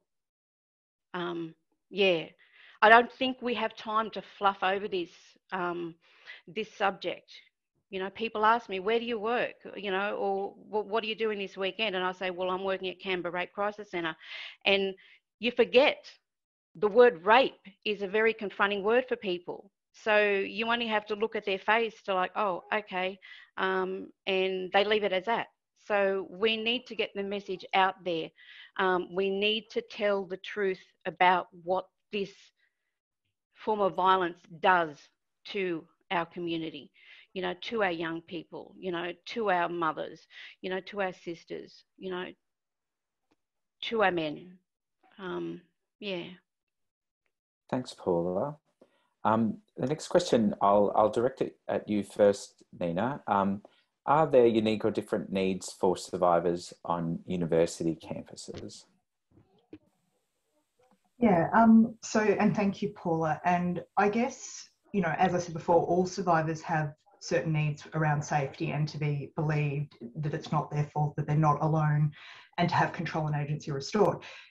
Beyond that, though, within university spaces, I think, um, you know, the work that I've done through End Rape on campus, if I, I might um, illustrate by way of example, um, a typical sort of story that we might see um, might be a survivor who has been living, say, in a college residence, who has experienced sexual assault in their dorm room. Um, often the offender will be, um, and reflecting the fact that sexual assault is a gendered crime that typically impacts um, on women. Um, it might, the offender might be a fellow male college student and after that assault, um, we might see a range of things. So, firstly, those kind of common trauma impacts around shame, denial, self blame, um, recriminations, nightmares, flashbacks, intrusive thoughts, etc. Beyond that, though, um, it would be fairly typical to see that that person may begin to um, to avoid certain spaces. They might disengage from some of their subjects they might, um, let's say they then get to a point where they can't sleep in the same room that where the assault has happened. So they might then need to exit their accommodation. They might then need to apply for a loan, a short-term bursary loan from the university in order to pay bond for a share house. Um, so already you can begin to see that now they've got some financial needs, they've got housing and accommodation needs, they've got um, academic needs, they might need extensions on assignments. And very often when that happens, um, they will have to tell their story to multiple different people within a university in order to apply for different extensions in different subjects. Um, from that point, we might just begin to see that they, you know, agoraphobia, fear of open spaces, fear of crowds, and then there are the social repercussions. So the fallout within their own social community. So um, peers taking sides, um, peers demanding that the survivor um, be accountable, you know, to them. Um, often they want explanations. Um, that can then provoke yet more trauma responses, which in turn can provoke yet more um, educational disengagement, and round and round it goes. And so by the time we're um, meeting a person, they might be um, really disengaged from their education. They might be experiencing a range of trauma impacts. Um, they might not understand how those things are all connected, um, except that they know that their life has suddenly, in their words, maybe fallen apart. Um, and they might be experiencing a lot of um, people within their own social community isolating, uh, sorry, ostracizing them, blaming them. Um, and then when you have a, and I guess, you know, we're here to talk about restorative justice, and I think that I'm cautiously optimistic in the sense that anything that provides more options to survivors is a good thing um, because we know that different survivors um, will want to avail themselves of different options. My caution comes around the fact that often within university settings there is already so much social pressure on the survivor to you know why are you trying to ruin his life why can't you just get over this? Why have you got to make a big deal out of this? And in that context, I can see that um, if you have a survivor who did want to pursue criminal justice as an option, they could be pressured into a restorative justice option. And I'm not suggesting that those two things are always or have to be mutually exclusive, but I can certainly see how that could play out. Um, I guess my other um, concern is even if that pressure is not direct from peers themselves, there is a kind of broader social um, environment and gendered environment and landscape in Australia that I think we have to acknowledge, where women's anger is very often codified as irrational. Um, women are often expected to, um, uh, I guess, uh, shrink their own pain to make space for um, the rehabilitation and growth of men. Um, and I've seen this in a, in a range of different um, areas that I've been involved in. And I guess my concern is that if we have an option that sort of says to women, um, you know, and I can certainly see how it could be very beneficial for a lot of people. I'm not denying that, but I just think we need to acknowledge that um, the if that women are already often socialized to try to be conciliatory in their approaches. Um, and if we're not critical of that and how that could um, influence the ways in which women are within university contexts sort of steered off um, into accepting restorative justice as a preferred option for them and their peers. I, am yeah, I, I don't know if that's making sense. I should also say I've got a five month old baby. I'm very tired, um, but I hope that there's a kernel in there that you that can make sense and that you can understand. Nina, perhaps unsurprisingly, as a journalist, you're communicating very clearly. Oh, thanks. Um, Eve, what, what would you add to what Nina's said? Um, I think my answer would depend on whether or not we're talking about international or domestic students, um, because their needs vary greatly. In the case of international students, quite frequently they're not only um, ostracized or like separated from their friends and family who are back home, an issue that's um, amplified by COVID, but also they're very mindful of how their behavior will be um, reflected on in their own cultural groups. Um, nowadays, a lot of us are really mindful of the fact that social media exists and whatever is posted online is permanent and your reputation is really hard to get away from, no matter where you travel to. Um, so people are much less likely to reach out to quite commonly Western forms of support because they seem foreign to them, but also uh, they won't necessarily provide any useful long term assistance that they can perceive. Whether or not that's true or not is a different question. Um, and then I guess for students who are domestic, it's a question of whether or not they're postgraduate students who tend to have a lot of historic cases or undergraduate students, because postgraduate students, from what I've seen, tend to live off campus more frequently. They're more um, aware of their options when it comes to resources, they're more likely to reach out external to university. Um, and I guess they just have more life experience. When it comes to undergraduate students, um, especially the ones who live in residential uh, halls, I'd have to agree with Nina in that there is a lot of social pressure. I've heard statements from students uh, who've been asked by other SRs to not file formal complaints because they'll ruin the culture on campus or in their halls. Um, and they also, uh, I guess, are a bit concerned about the optics of reaching out to resources at the university because it, this may not be true, but a lot of them see there it as there being an inherent conflict of interest, where they think that the university's main priority is to protect the interests of the university rather than the interests of the students. Um, that's partially just it's a it's a widespread issue, um, which is common also to international students um, in relation to how their data is being used, but um, product of uh, universities in Australia, their response to the 2017 report into sexual harassment and violence on campus. Um, so that would probably be the primary differences. Otherwise, it's the same for um, other survivor groups, but is probably more focused on um, how this will impact your career um, uh, because a lot of students haven't also entered into the graduate field and life can feel very insular when all you know is your tertiary studies. Sue, I'll, th- I'll throw the next question to you um, initially. Um, what so we've heard a bit about what some of the needs are, um, and we've also started to hear about what some of the gaps are or ways that needs aren't being met. Um, in your view, are, are, are needs being met, and, and if not, what's missing? Oh yeah, totally not. um, I think that we we are missing many needs of many um, individual survivors, but we're also um, missing the opportunity to reflect and engage in a critical analysis of what it actually exists to respond to survivors in particularly um, you know particular population groups or communities. I think you know I, I think the university sector is a really interesting um, sort of example of that and all of the issues that Nina and Eve have just illustrated there.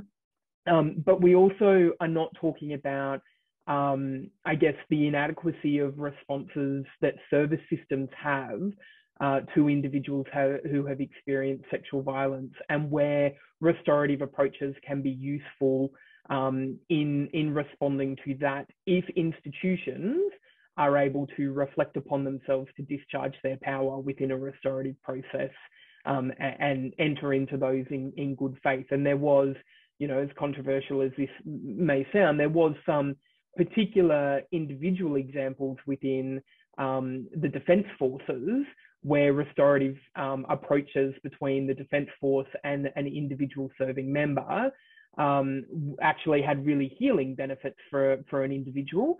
Um, in regards to the way that that institution responded to hmm. um, instances of sexual violence within that community. So I think there's a there's a broader and significantly longer panel discussion about um, the utility of restorative practices in those formats as well. Um, but we we still aren't as a sector and as a society um, competent enough to actually centre uh, the voices of lived experience in our service sector design and decision making around how we are going to look at funding, uh, sorry, how we are going to look at responding, let alone funding a service sector response to the issues of sexual violence um, or family, domestic, intimate partner violence, um, however, however that comes about. But, you know, we still are working with these kind of archaic funding models to fund services that deliver particular outcomes to the funding bodies and kind of told to center the experiences of of um, survivors and, and victims within that, but it, doesn't all link yet. We're just not there. Um, and then we're still not even talking about the intersectional nature of experiences for individuals as well.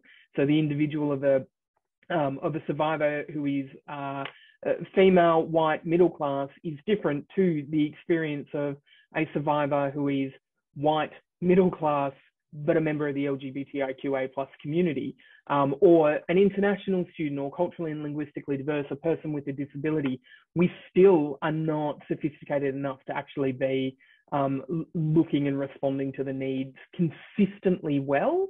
Occasionally we have a good one, but consistently well um, to individuals uh, within those population groups as well. I'll, th I'll throw open that question about whether um, needs needs are being met now and what and if not what's missing to the rest of the panel. Whoever would like to um, to speak to that?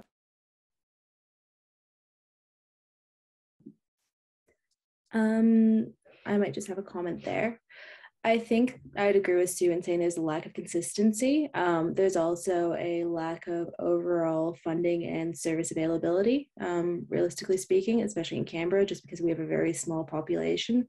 Um, I think in order to have a more, it's going to take time. We currently have in our disciplinary policy at the ANU uh, reference to restorative justice as being one of the three options available to students. But the feedback I've gotten is that a lot of people aren't um, properly trained in that. It's not actually offered to the majority of complainants. Um, and I don't know how uh, the university sector would focus on recruiting more uh, culturally and linguistically diverse candidates who appropriately reflect the population at the necessary rate that they need to. They need to um, abide by some of the recommendations that they agreed to in 2018. But besides that, uh, it's going to be it's going to take time. I might um, jump in and add, um, firstly, no, I don't, the, the, simple answer is no, I don't think that universities are adequately responding to the needs of the survivor population. Um, I I see this um, also from the perspective of a journalist who um, goes to universities for right of reply frequently um, when survivors have contacted me wanting to tell their story to the media. And um, and what I see as an institution responding to me, so as an institutional response, is a whole bunch of minimization, deflection, um, shifting blame, um, denials. In other words, the exact sort of um, responses that we also see from perpetrators. So when I see institutions behaving in that manner, it doesn't give me a huge amount of confidence as to how they're actually responding to individual survivors um, in closed rooms beyond the scrutiny of others.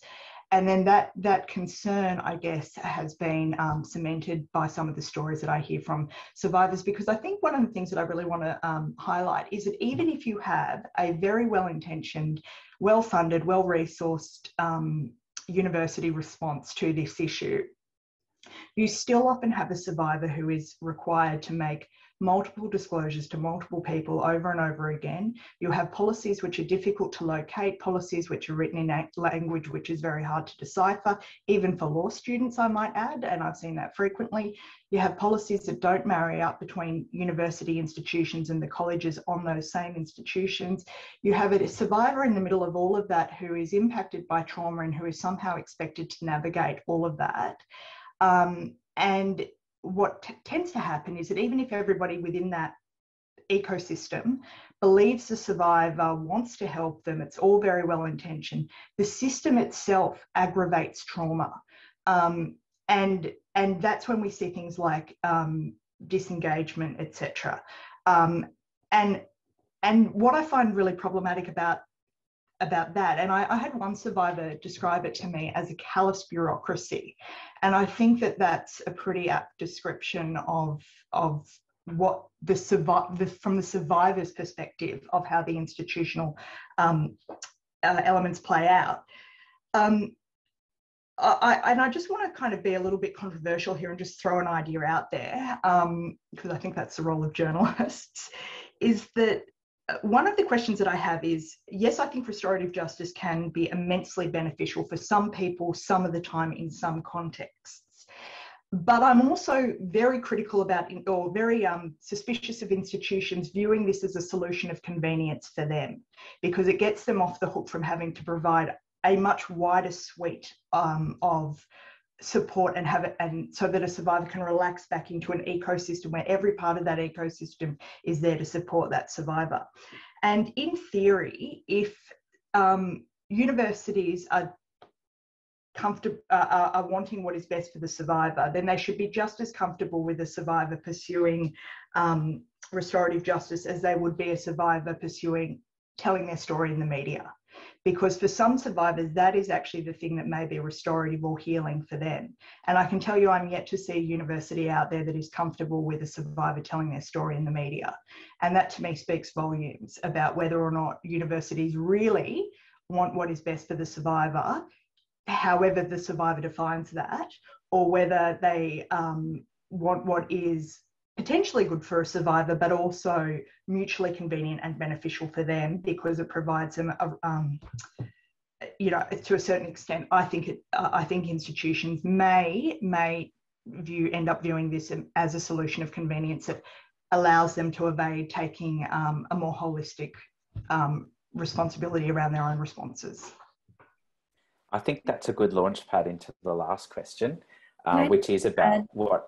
It's a very short comment, um, but one thing you hear a lot from um, residential colleges is that if people speak out publicly about uh, their experiences without the respondent having the opportunity to justify their experience, it can have long term detrimental impacts that wouldn't necessarily occur if someone were able to go through the trial process. It's basically being guilty in the court of public opinion without actually having the opportunity to um, explain what your position is.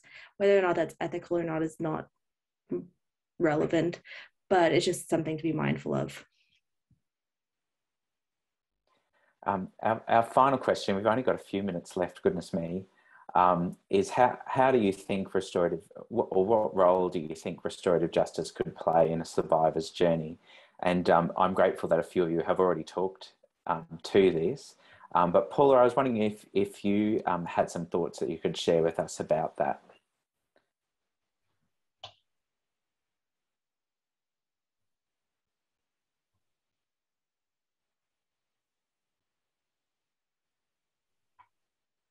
You're still on mute, Paula, sorry.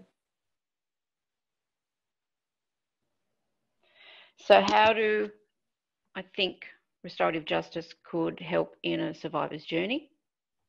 Yeah. Um,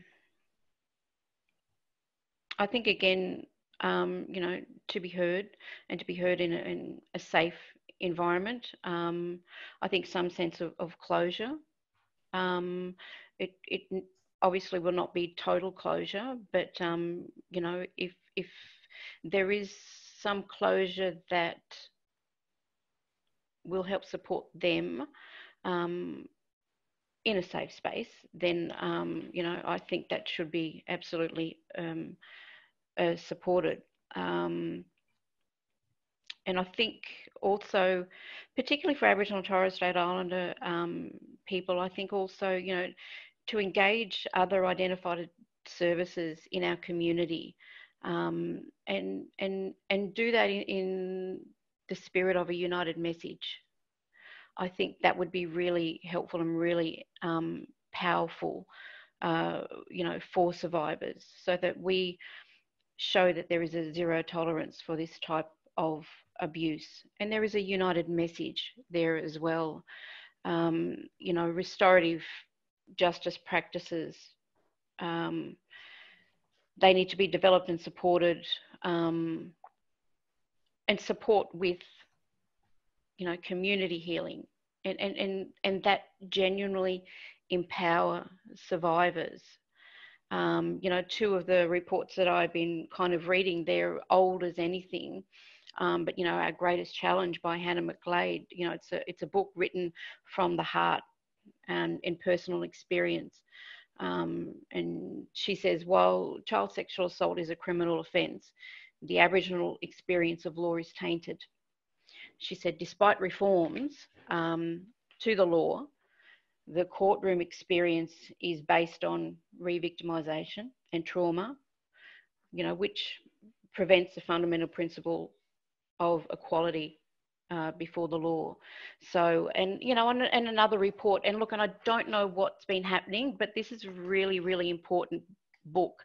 Um, it's um, it's the Aboriginal Child Sexual Assault Task Force. Now, that this book was written around that in 2003. It's quite a comprehensive grassroots book. Um, um, but you know, it's it's it's we don't want to have to write another book about this. You know, um, you know, we we we want to be able to um, get this message out there, this you know inclusive message, not be scared to, you know, to tell the truth and the truth telling. You know, and understanding all the complexities, you know, that that do come with Aboriginal and Torres Strait Islander people, you know, Aboriginal Torres, Torres Strait Islander communities. You know, add that on to the burden of carrying, you know, um, you know, whatever shame and whatever guilt they do have um, you know, being a survivor of, of sexual abuse. And I'm not sure if I answered the question, but that's kind of what I wanted to say. And I think I think we've reached the end of our time. Unfortunately, it means that we won't have any time for for questions. And I'm sure there were some really wonderful questions. So I'm I'm sorry to everybody, um, but it's been so wonderful to hear from each of you. And thank you so much for your time and your wisdom and your experience. We really appreciate it. Uh, so I think Meredith, do the same rules apply? Um, that we've got a shorter break now before the next session commences. So it's due to commence um, at 11.05. So everyone's got a little bit of time to um, refresh themselves. Um, any, any other instructions I need to relay? Nope. No? All right. Well, um, we'll convene for panel three at um, thanks very much. Thanks very much. Thank you. Thank you. Okay, thanks everyone. Um, welcome back. I'm Meredith Rossner. Um, I'm a professor of criminology here at the ANU who does research on various aspects of restorative justice processes. Um, before we get started, I too want to acknowledge that I'm on Ngunnawal and Ngambri land and pay my respects to elders past, present, and emerging. So um, this panel will in many ways be um, a response to what you heard in panel one and in panel two. Um, we heard a lot in panel one about the evolution of restorative justice in the ACT. And also it's important to recognize that we are very lucky here in the ACT to have a legislative basis for this process, which is rather unique. But it's also important to to recognize that there's limits to what the restorative justice unit can currently do. So for instance, it's supporting survivors who choose not to go through a formal justice process. In this panel, um, we will hear from a range of different examples from around Australia and globally about what restorative justice can look like for survivors, other pathways. So we hope that these insights can help us to reimagine how we can help survivors here in the ACT. So you'll first hear an excerpt of an interview that I recorded last week with Dr. Estelle Zinsstag from Edinburgh. Estelle couldn't be here today because it's what three in the morning in Scotland. Um, Estelle will give some examples of restorative justice approaches to sexual assault across Europe. We'll then hear from Thea Deakin Greenwood. Thea is a solicitor and the founder and project lead of Transforming Justice Australia, which is an organization that's been working tirelessly, really, to develop a survivor oriented restorative justice approach to sexual violence in New South Wales. Following that, Claire Berman Robinson, who's a restorative justice practitioner, will discuss the Adult Restorative Justice Conferencing Unit in Queensland. Claire has experience facilitating restorative justice in response to sexual violence and will talk about the various pathways that are available for survivors in Queensland right now. Finally, we'll hear from Kendra Russell. Kendra is a community educator and trainer at the Casa House, that's the Centre Against Sexual Assault, which is based out of the Royal Women's Hospital in Melbourne. Kendra supports survivors um, at all stages in, in their journey and will discuss particularly how support organizations can work with and facilitate access to restorative justice. So I will start by um, hopefully successfully sharing this video with Estelle, which is just just over five minutes long, and then I'll and then I'll ask the panelists um, to engage. Please interrupt me if this isn't working.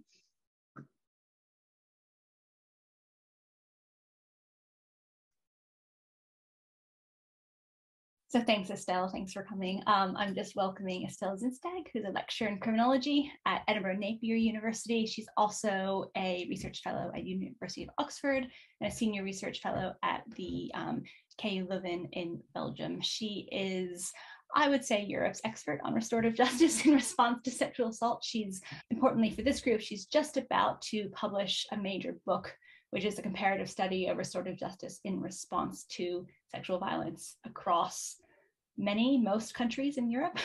And beyond, yeah. And beyond, Europe and beyond. I guess just to start, um, if you could talk a bit about um, what you've learned about what the different sort of pathways are to restorative justice in response to sexual violence. Um, yeah, so just to correct, the book is by Marie Keenan and myself. So that's really important because it's completely collaborative work. And actually, we have a big team behind us. One of the, one of the premises to that project was the fact that we understood that despite so the the many res, resistances, I don't know if that's the right correct word, uh, to the idea of this practice, it actually in reality in practice really already happens. Mm-hmm. So um, and everywhere in the world, the problem was always that uh, it's been done without proper checks and balances. The study was all about try to find out as many answers as possible to this and then try to help the practice develop in a more yeah, safe and appropriate way in that sense. Um, pathways, generally countries uh, like the Scottish government now want to try to make sure that it's only through the criminal justice system and only once someone is convicted. Mm -hmm. uh, and of course, uh, my argument is that it, it, it's it's too um, constricting. I mean, the point is, as we know, there's most studies show that about 5% of any sexual violence is ever um, going through the criminal justice system to a conviction. So what happens to the 95%? Let's take the example of historical um, sexual abuse, where, you know, 40 years later, a sister and a brother who, where there has been sexual violence, uh, you know, the sister doesn't really want her brother to go to prison, mm. uh, doesn't really want it to be publicized, to be public, to be, but she wants answers and she wants to make sure, you know, she wants to answer what happened. Mostly it's about, you know, regaining a voice that you lost at that, uh, during that um, event or series of events. And you want to regain that voice, you want to re-empower yourself, and that can happen at any time in the course of your life. Mm. Uh, and by, by making legislations that are extremely strict and uh, you, you, you restrict and you take away again that voice uh, from these particular people. The stakeholders should have the voice, should have, you know, they know what's best for them. It sounds like from what you're saying is that um, one of the key drivers of the difference is whether or not there's like a legis legislative basis of course, of course. Uh, we do say that a legislative, a legislative basis always allows a practice to be to become more embedded and to become more. Uh, we've seen so many countries where you had uh, an amazing person being driven to develop the practice and to train people and to you know and and that's the case in denmark that's the case in places in england and then suddenly that person changes job, does something else, whatever, and the practice dies. Of course, it's it's more difficult not to fund a practice if you have a legislative basis and a law says, you know, you have to give this possibility to uh, the stakeholders in a crime. I mean, especially the victim.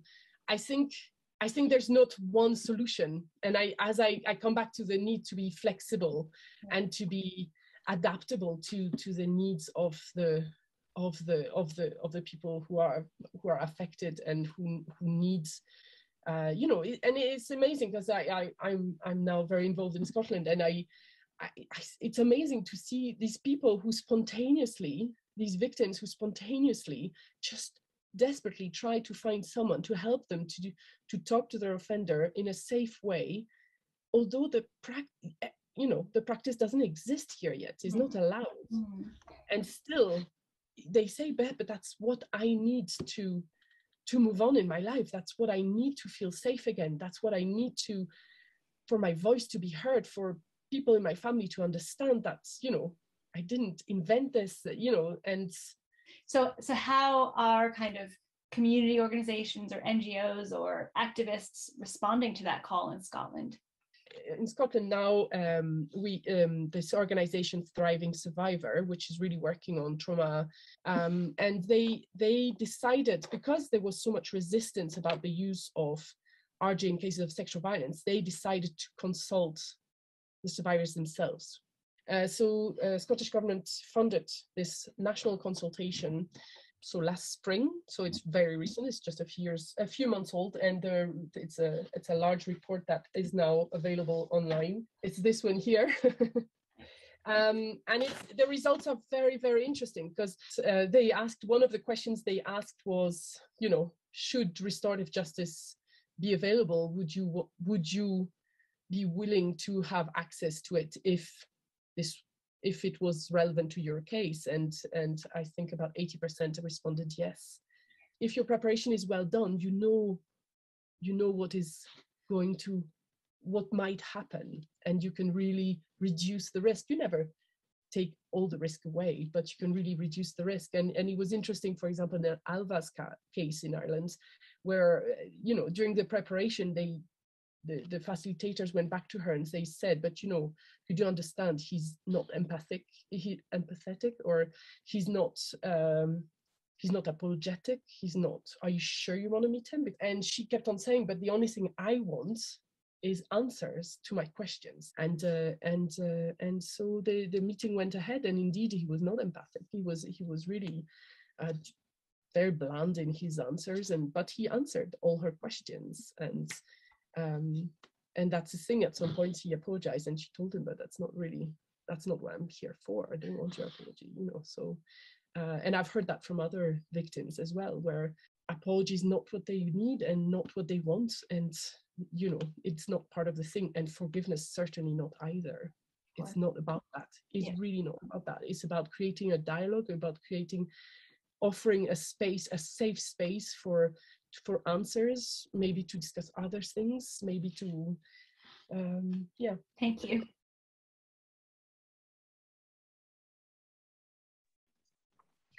Okay, so you will have seen from my dodgy editing skills that that's a shortened version of a much longer interview, um, which we'll also be making available on our website if anyone wants to watch that. Um, that full interview at another time. So um, I'll start by um, turning to Thea first and asking Thea if you could offer some reflections on Estelle's remarks and perhaps talk a bit about the work that you've been doing with Transforming Justice Australia. No problem. Thanks, Meredith, and thanks um, so much for inviting me to be part of this wonderful day and this wonderful panel.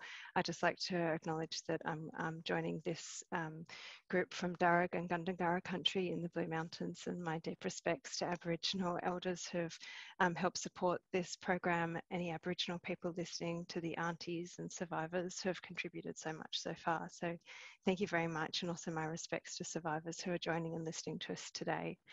Um, that was really amazing, Meredith, to have that opportunity to hear from Estelle. And I really love the way she continues to bring her focus back to the needs of survivors and to really see them as experts in their own lives and in the choices that they wish to make.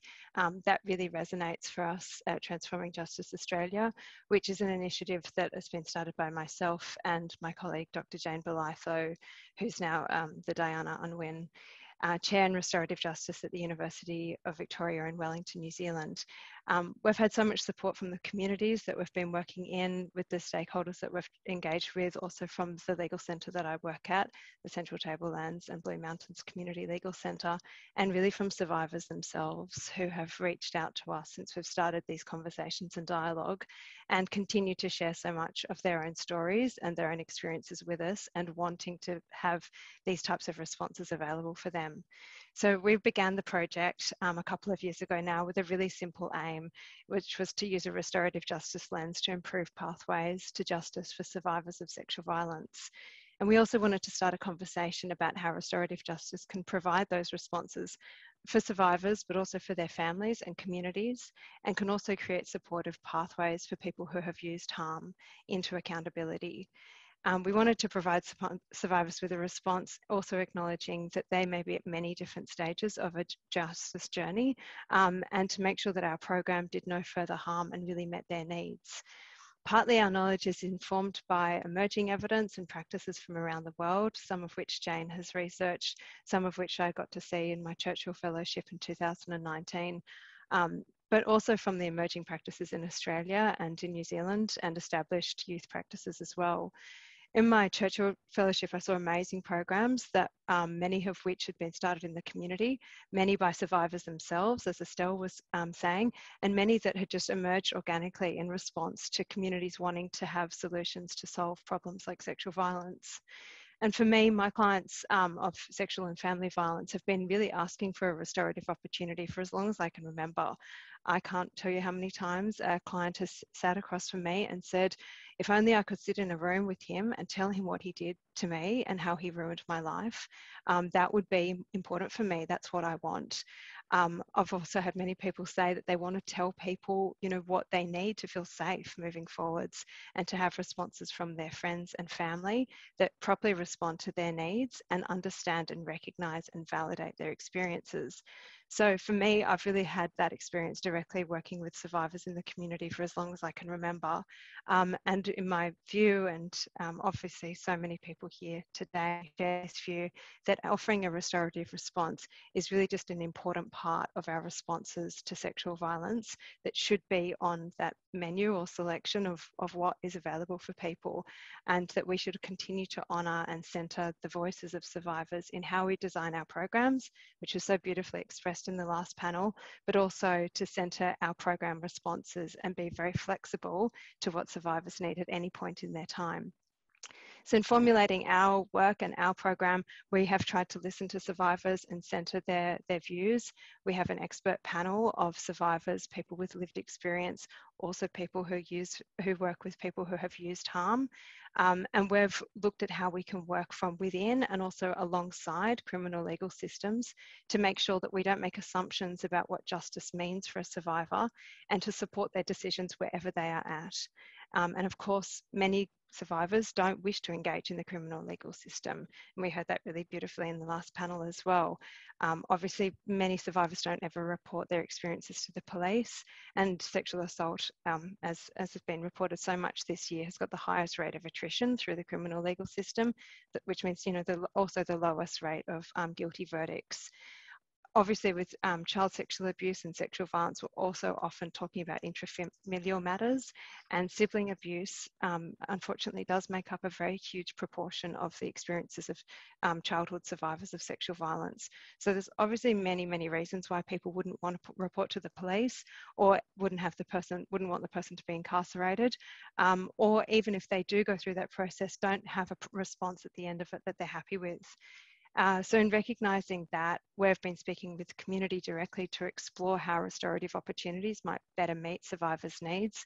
We've been doing consultations in the community for over two years.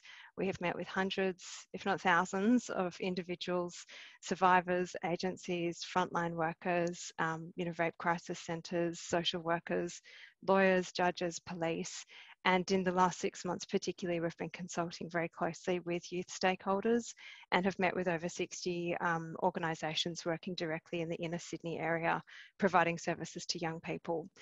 So now we have a really clear model for how we can implement a program in New South Wales using the existing frameworks of the criminal legal system, but also incorporating a community um, referral. And um, hopefully we'll be supported in the future to implement that in New South Wales, we don't have any legislation, so we can really create a model um, based on the leading practices in Australia, like some of the programs here today, as well as Open Circle in Victoria, and also draw on the research and the experiences of places overseas like Project Restore and in the UK and Canada as well.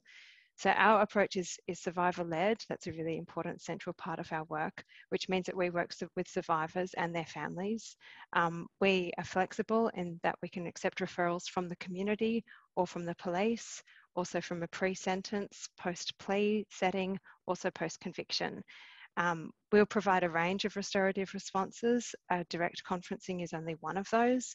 Um, it could be many other things that a survivor might want to have, um, information they might need to know, you know, assurances about the future.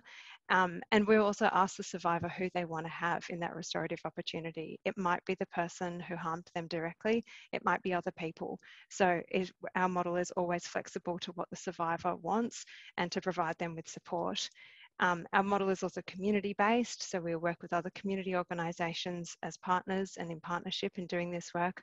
And in doing no further harm, we obviously also support those who have used harm to help them find treatment and therapy and support. And I think we might talk about that a little bit further in this session as well. But obviously, that's an important piece in the story about accountability. And it's often a very important piece in terms of ensuring that there's no further harm.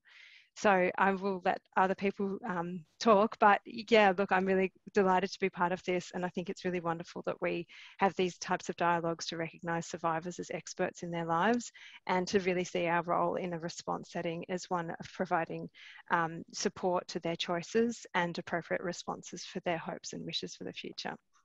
So thank you so much. I'm really looking forward to being part of this panel.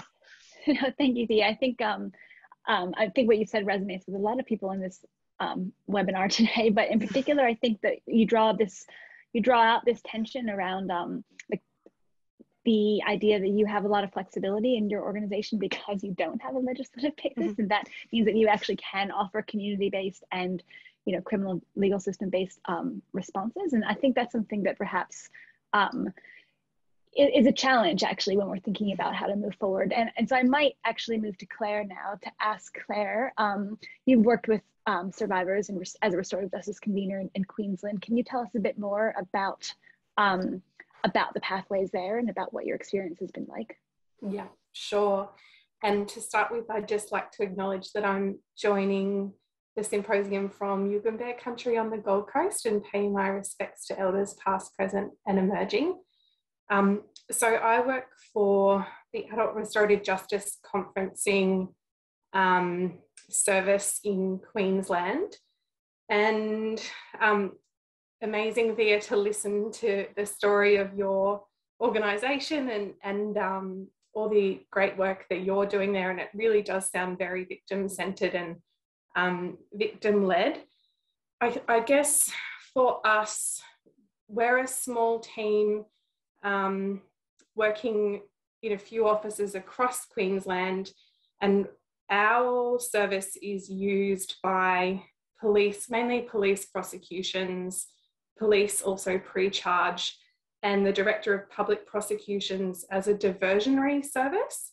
Um, and we, we do RJ across a range of different offences, and I guess sexual offending forms a very small part of the broader work that we do.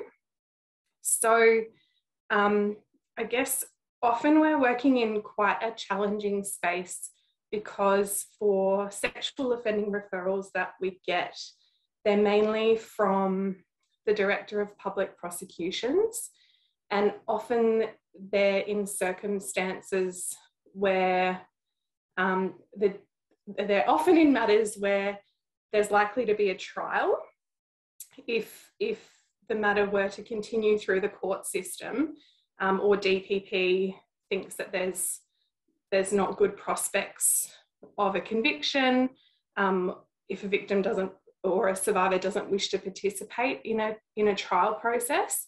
So um, often it's kind of offered you know Thea you talked about a menu and the, and this being part of or RJ being on that menu that survivors can kind of look at and decide um, how they want to proceed. I think often for our referrals, it's not so much of a menu, it's, it's more an either or kind of selection. And it might be explained to them that, hey, you, the case isn't very strong and you're probably not going to be successful through a court process. And that can be a really, really difficult and challenging space to work in. Um, and I guess part of the concern is that maybe that's continuing on something that's not very empowering for survivors to be in this situation where um, either they have to go through a court process that's likely to fail and be pretty traumatic, or they could they could do this instead.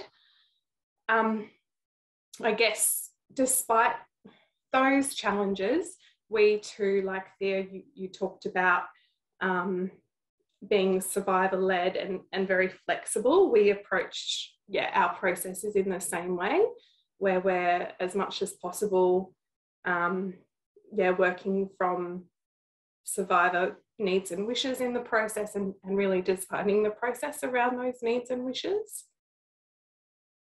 Um, occasionally, we do get referrals from survivors them, themselves, and they might have heard about our service through um, a specialist support service or a counsellor.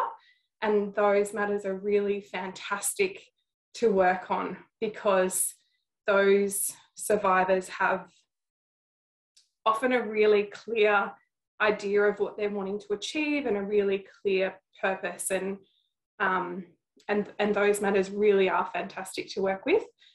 But i guess also the, the challenges that come up in those matters especially if there isn't a criminal proceeding or other kind of court proceeding or it's not within the the, the justice system at all is um, thinking about you know what's the stick or the motivation for the offender to want to participate and engage. Because i guess where it's coming from the dpp there's a very clear motivation in that they'll have their charge discontinued and they won't be convicted because it's used to divert um, yeah so um, a, a few different ways that, that we get referrals and kind of pros and cons with each pathway Thanks, Claire. Um, I wonder if you could talk a bit about, you mentioned that support organizations um, and, and in particular, um, as you mentioned to me, the um, Brisbane Rape and Incest Survivor Support Center, which is where Kendra used to work, um, um, has been a been a particularly kind of important relationship that you've that you've developed over time. And I wonder if perhaps I could start by you talking about what how working with that support organization has um, what that's meant for you, and then also then perhaps turn to Kendra to ask her to reflect on that a bit. Sure. Um, our organisation has been also, we're really looking at this area and working on how we can be better in this area and make sure that we're aligning with best practice. So Griffith University has done some research for us.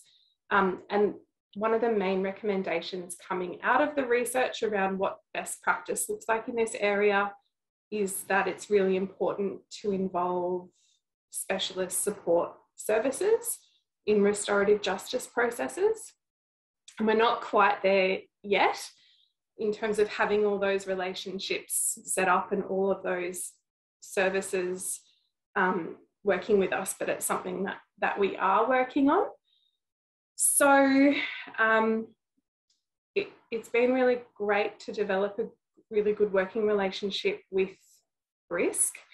Um, and having, having, I guess, you know, every survivor is different and it's really important that these processes are flexible and I guess not every survivor will want to be, you know, some people are really clear that they don't want to be supported or that they don't want counselling or they, you know, that, that, that it's, yeah, and there are different ways that people may want to participate.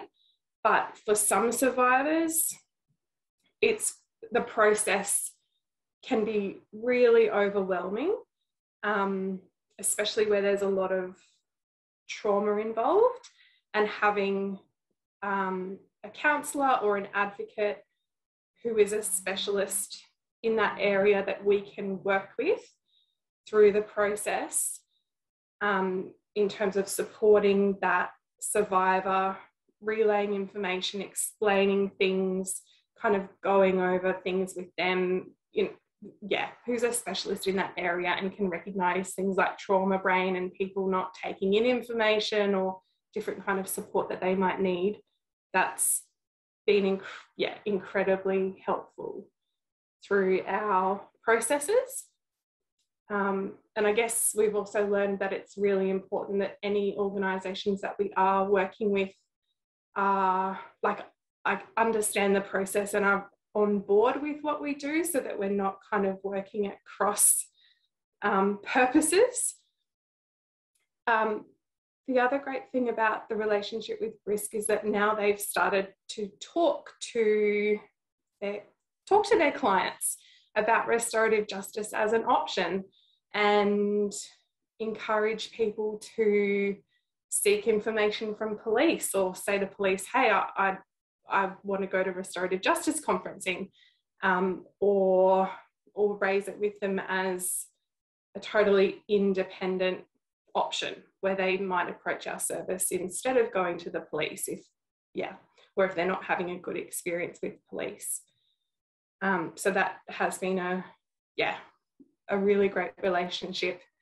Um, and I'll just mention briefly, because I'm not sure, Thea, you might have had the same challenges, but I guess where where there are quite a few services that we can quite easily um, access to help support victims, it's not as easy to find services to work with and support offenders in RJ processes. And that's that's a real challenge that we're kind of grappling with as well in setting up this, looking at the recommendations and trying to implement them. Yeah, no, thank you. I think that's a particularly important question, especially if we're talking about community-based responses that, that I know that everyone's been, everyone on this panel has been grappling with in, in different ways. Um, I'd like to return to, to that because I think it's important to talk about. But first I wanna ask Kendra if she could um, kind of, because what you described, Claire, I think was a kind of really organic um, growth of this process in that through working with BRISSC, it, it kind of opened the um, an avenue for a new form of pathway to restorative justice, perhaps. And I wonder, Kendra, if that's something you could ex expand on a bit. Yeah, absolutely. Um, I'll also just acknowledge that I'm dialing in from the lands of the Wurundjeri people of the Kulin Nation um, and pay my respects to elders past, present and emerging. And also just want to acknowledge um, that, so I'm currently in Naarm or Melbourne, um, but a lot of the work I'm going to be talking about today um, was birthed in Meanjin or Brisbane. And so also want to extend my gratitude and thanks to um, Yagara and Turrbal elders there. And that's really where I came to a lot of this knowledge and analysis and ideas around alternative justice. Um, so yeah, so I guess to contextualize my offering today, um, I was working as a, a counsellor and support worker at BRISSC in Brisbane, which is a victim survivor sexual assault support service um, for adults and adult women.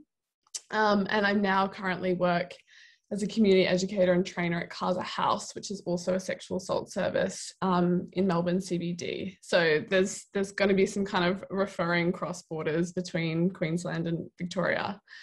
Um, but I suppose the context of the story around how we came to have a relationship um, from BRISSC with adult restorative justice and with Richard, who was previously there, and Claire, who was so um, gorgeous to work with is really that um, we encountered a, a, particular victim survivor who had gone through the process that Claire just described of um, sort of imminently um, going through trial, the DPP kind of referring her um, to a restorative justice process, um, her feeling quite overwhelmed by it, seeking a victim support service, um, and that's how those ties really formed.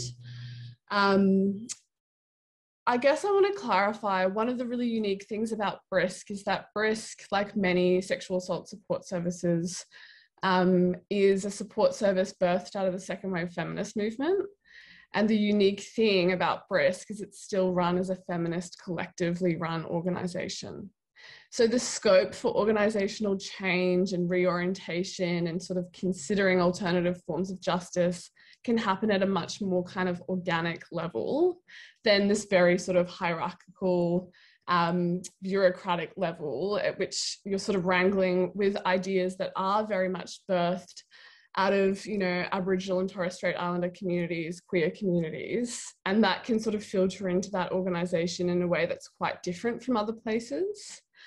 So that was really unique. Um, and and through that process with that particular victim survivor i suppose BRISSC really acted as advocates in that space for that particular victim survivor which i think speaks to the value of including um, victim survivor services in this process because the value that these services play is very much in their history as feminist services that were birthed from like grassroots movements and that their strength is really in their feminist analysis of gender-based violence and also in their increasingly sort of trauma-informed lens and it's the marrying of those two frameworks that I think make them really invaluable in these conversations and in supporting and playing a role for victim survivors.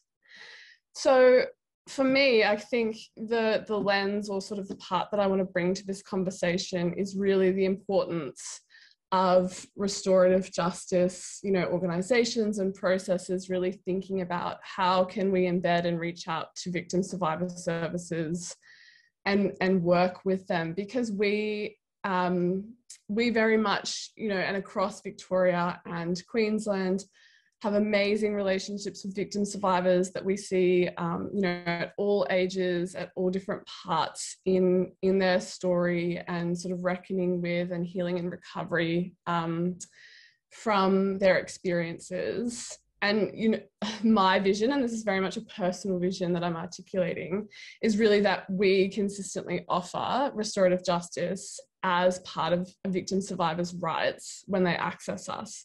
We talk them through reporting, we talk them through restorative justice, and we have sort of connections with organisations like Open Circle and Transforming Justice Australia that are very um, aligned and embedded to make it quite a seamless process. Um, because I suppose to, to really I really resonate with Estelle's comments from her video where she's talking about this is happening, right? Like it is happening in Queensland with adult restorative justice conferencing. It is happening in Victoria with Open Circle, but those linkages between victim survivor services and these organizations um, are, are, are really just, just beginning and I, I really want to sort of yeah stress the importance of that. Um, and I think you know there was a question in an earlier panel around around fear um, of kind of recommending restorative justice to victim survivors. And I think my kind of commentary um, from victim survivor services is that there is fear there because of the history of our services where um, you know, women and other folks who are really crucial in setting up feminist sexual assault services had to fight so hard to get gender based violence on the agenda. And there's fear around that. There's fear around restorative justice being seen as kind of reprivatizing that. And I think we need to really acknowledge that fear and where it comes from, but also tap into the fact that feminist analyses are changing and they are in in transforming and becoming more and more intersectional we're able to um, you know to to um, varying degrees of success when we think about intersectional analyses and including queer and centering queer and indigenous perspectives particularly we're able to see all that restorative justice has to offer. Um, and and that's kind of yeah that's the offering i want to make is really the importance of that how that analysis is transforming and how we still include those voices. Yeah. Thanks so much kendra. I think to take um, you know a theme running from both estelle's video and, and what the three of you have been saying is that it's really clear that like like that we need to be flexible and adaptable and, and organic and if we really do want to prioritize um, what survivors need and, and meeting survivors where they are.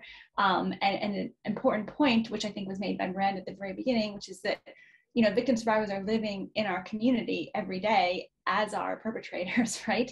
And and that's why we really do need to, if we really do want to if justice heals, then we need to think about, um, you know, at what point in someone's journey that can take place. And that's why, for instance, the, um, community-based alternatives, Thea, that you're that you're trying to offer are are become really important. Um, but with that comes some challenges, and both Claire and Thea have, have pointed out um, some particular challenges in terms of finding support for perpetrators in a non-criminal justice um, option. I wonder, Thea, if maybe you could reflect on that a bit. Um, thanks. Yeah, it's such a really um, full conversation to be a part of. I feel very privileged to be in everybody's company here. But um, there's lots of common themes. But yeah, look, that is a, a definite challenge in doing community-based work. Um, in my view, it's a public health issue. It requires public funding, commitment to evidence-based programs and treatment. Um, there's a lot of uh, literature with, um, you know, what is available in terms of community treatment models, which are effective. One one is COSA, which is Circles of Support and Accountability that support people usually exiting from criminal um, justice institutions back into the community. Um, they are only available in one state, as far as I'm aware, in Australia, which is is woeful.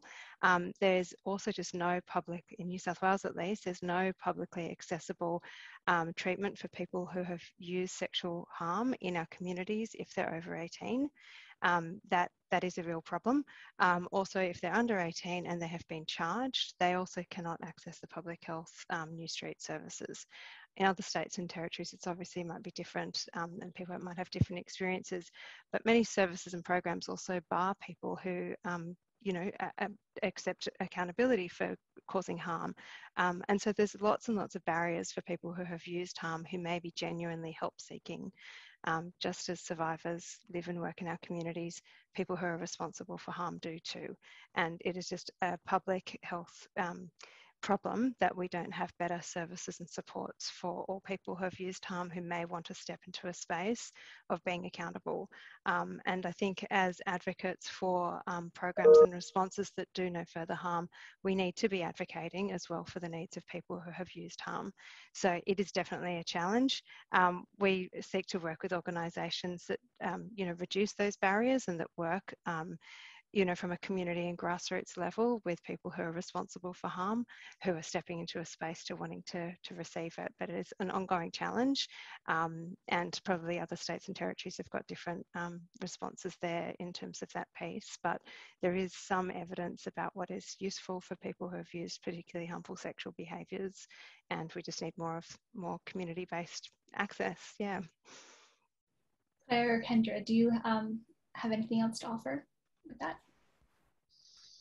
Um, yeah, I just sort of, I guess, suppose echo um, some of the comments that have already been made around the lack of services. I mean, for us, really, when when we've kind of looked, I suppose, at referring um, people using harm to services, the only sort of model that's available is very much men's behavioural change, um, which is very much oriented around um, domestic and family violence. And I suppose a point that I want to make here is that, kind of in the literature, and as I've engaged with academics in these sorts of conversations, there can be a real um, lack of awareness around the differences between sexual violence and mm-hmm. domestic and family violence mm-hmm.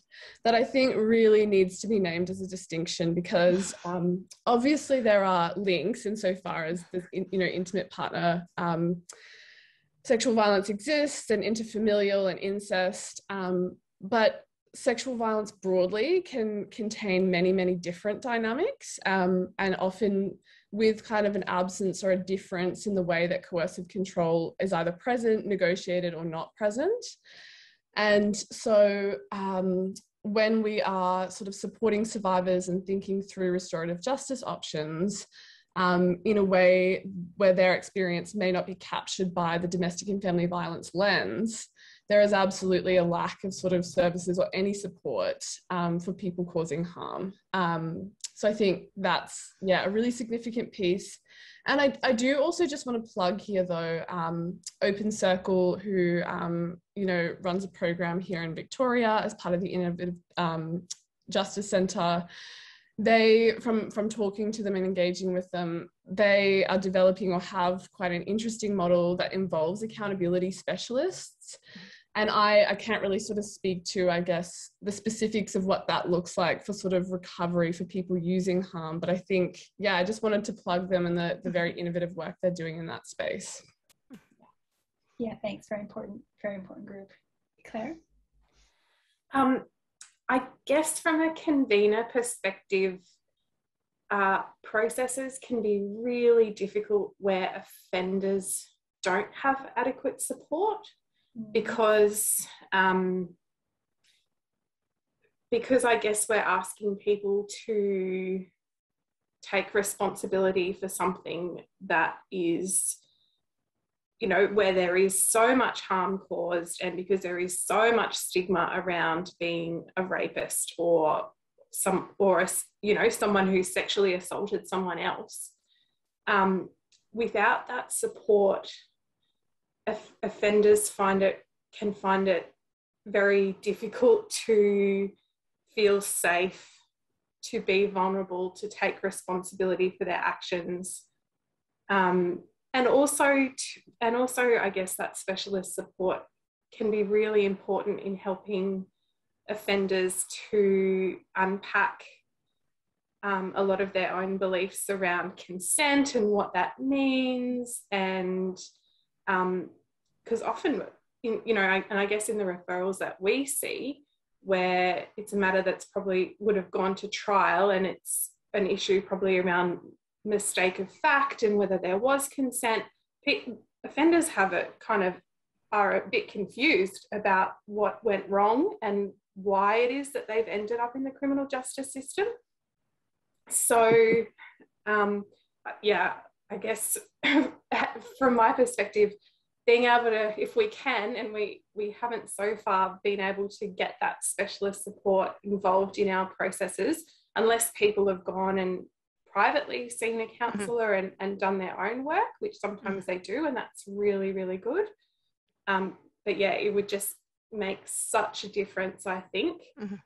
um, i guess not only for for offenders and making sure that we're not causing any further harm for them because often those people are going through some really intense mental health stuff themselves. Like it's not unusual for those offenders to be suicidal, um, for you know their relationships to have broken down, all kinds of things. They might have lost their job, um, and I guess helping them to better perform and better engage in our process will then assist survivors to get better outcomes too, because that person will be in a better place to take responsibility to apologize, to talk about their insight into impacts, to understand, to hear. Um, so, yeah, incredibly important. And I agree, Thea, you know, we need funding to provide this, this sort of thing. Mm-hmm. Um, and there was one other point I wanted to make, but it's, it's gone. I think that um, what you're saying actually resonates with a couple of questions that we're having right now from the group. So I might just um, ask ask Helen to ask a, to um, moderate a couple of questions, please. Yeah, absolutely. Um, so the first question we have is from Janet Hope.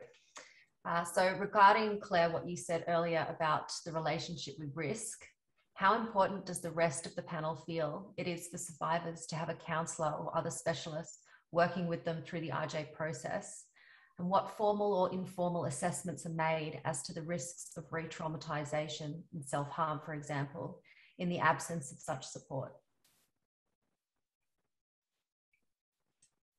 I think I could answer the bit about um, the, the risk of further harm, and then maybe if I, and then Thea and Kendra.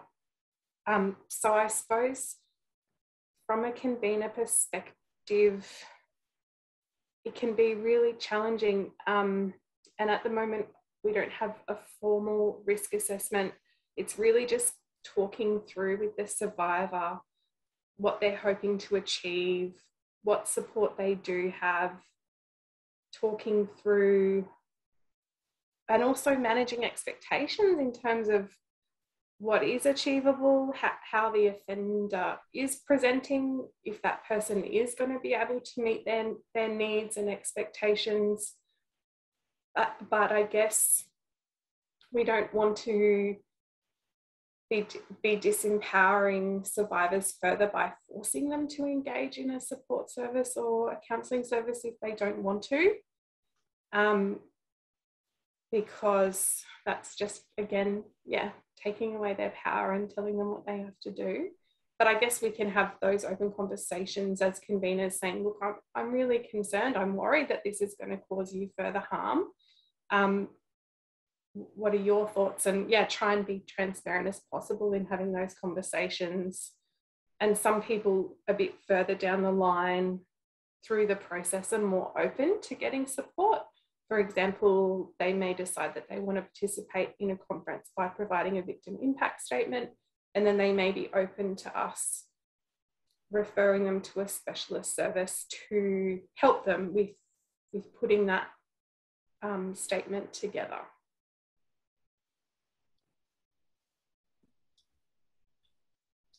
Thea or Kendra, do you have anything to add? Yeah, Thea, do you want to do you do you you uh, go after first? you, Kendra. Okay. After you.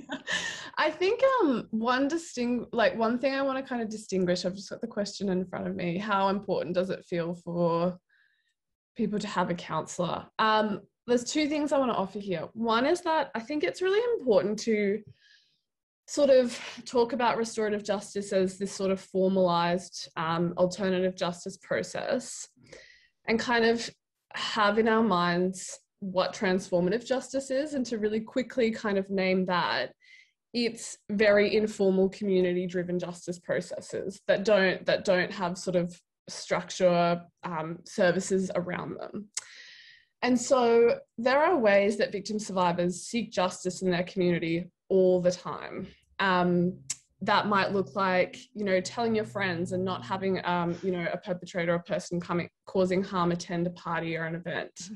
You know, there's a myriad of ways. And so for me, um, yeah, victim survivors are already experts in the sense of their own justice. And so kind of forcing them or or you know really kind of persuading them to connect with a counselor isn't necessary or helpful at all particularly.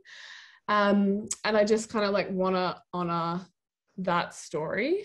Um, i think the other piece that i want to add is really around the notion of structuring safety and structuring safety into a process. And so I think the most effective way that we can support survivors through processes like these are giving them options and flexibility to determine and have their own self-assessment of their own safety, their own sort of tra trauma um, honored at every stage. And so that might look like an initial, did you want to connect with a counselor? It could look like A, B, C, and making sure options like those are um, yeah, are really implemented across the entire process in a way that honors victims' power, control, um, and, and decision making over the process. So for me, um, I, I'm the language of risk can be useful, but actually I prefer the language of structuring safety and structuring options because I think that results in sort of better outcomes. Thanks, Kendra. I was going, uh, both of what you've said, it just answers that question so perfectly. Um, the only piece that I'd like to add is um, the question of accountability in when we talk about accountability, often um, in these kinds of conversations, we're talking about what that means in a public setting and in a public space.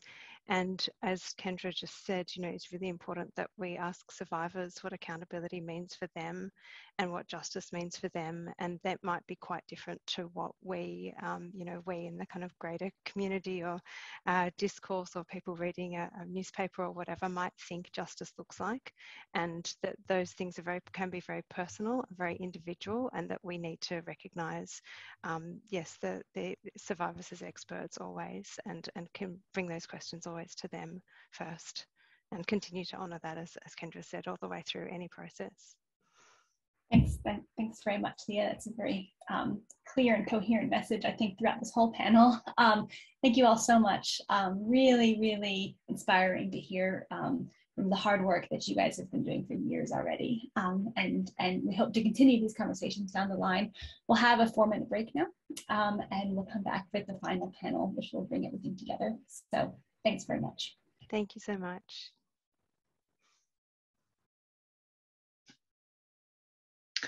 Okay, it's just gone 12. I'm wondering if our panelists for session four can put on their videos and join me. Hi, Amanda. How are you? Hi. Welcome. Thank you. Just waiting for Leah.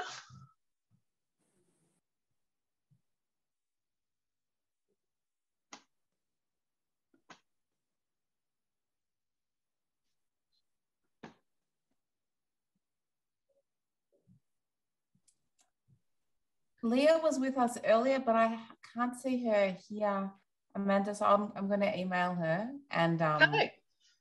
Alrighty. So we'll kick off anyhow. And so this panel, uh, panel four, is convening to address the question of what is needed to safely advance survivor initiated restorative justice as a pathway, both inside and outside the criminal justice system. So excuse me, we've had the benefit of um, hearing some amazing speakers all through the morning, which is going to help inform our discussion in this next um, session. So what I'll do first up is introduce our speakers. So our five panellists in this last session include Mr Shane Drumgold, the current Director of Public Prosecutions. Welcome, Shane. Detective Sergeant Michael Woodburn, or Mick, who has begun work in the ACT Policing Sexual Assault and Child Abuse team. Thanks for joining us, Mick. And we have Claudia McLean, who is the Principal Solicitor with the Women's Legal Service. Glad you can be here with us, Claudia. So what I might do is just pass to each of you to perhaps tell us a little bit about how you, you know, where you're from, how you've arrived at the position that you're currently in, what your experience of restorative justice might be, or your experience of working with survivors of sexual assault. So, Claudia, maybe I can start with you first. Sure. Thanks, Amanda. So, uh, at the Women's Legal Centre, we work with a lot of women who are considering making a formal complaint to police. And so they want to know a lot about the process before they embark on that.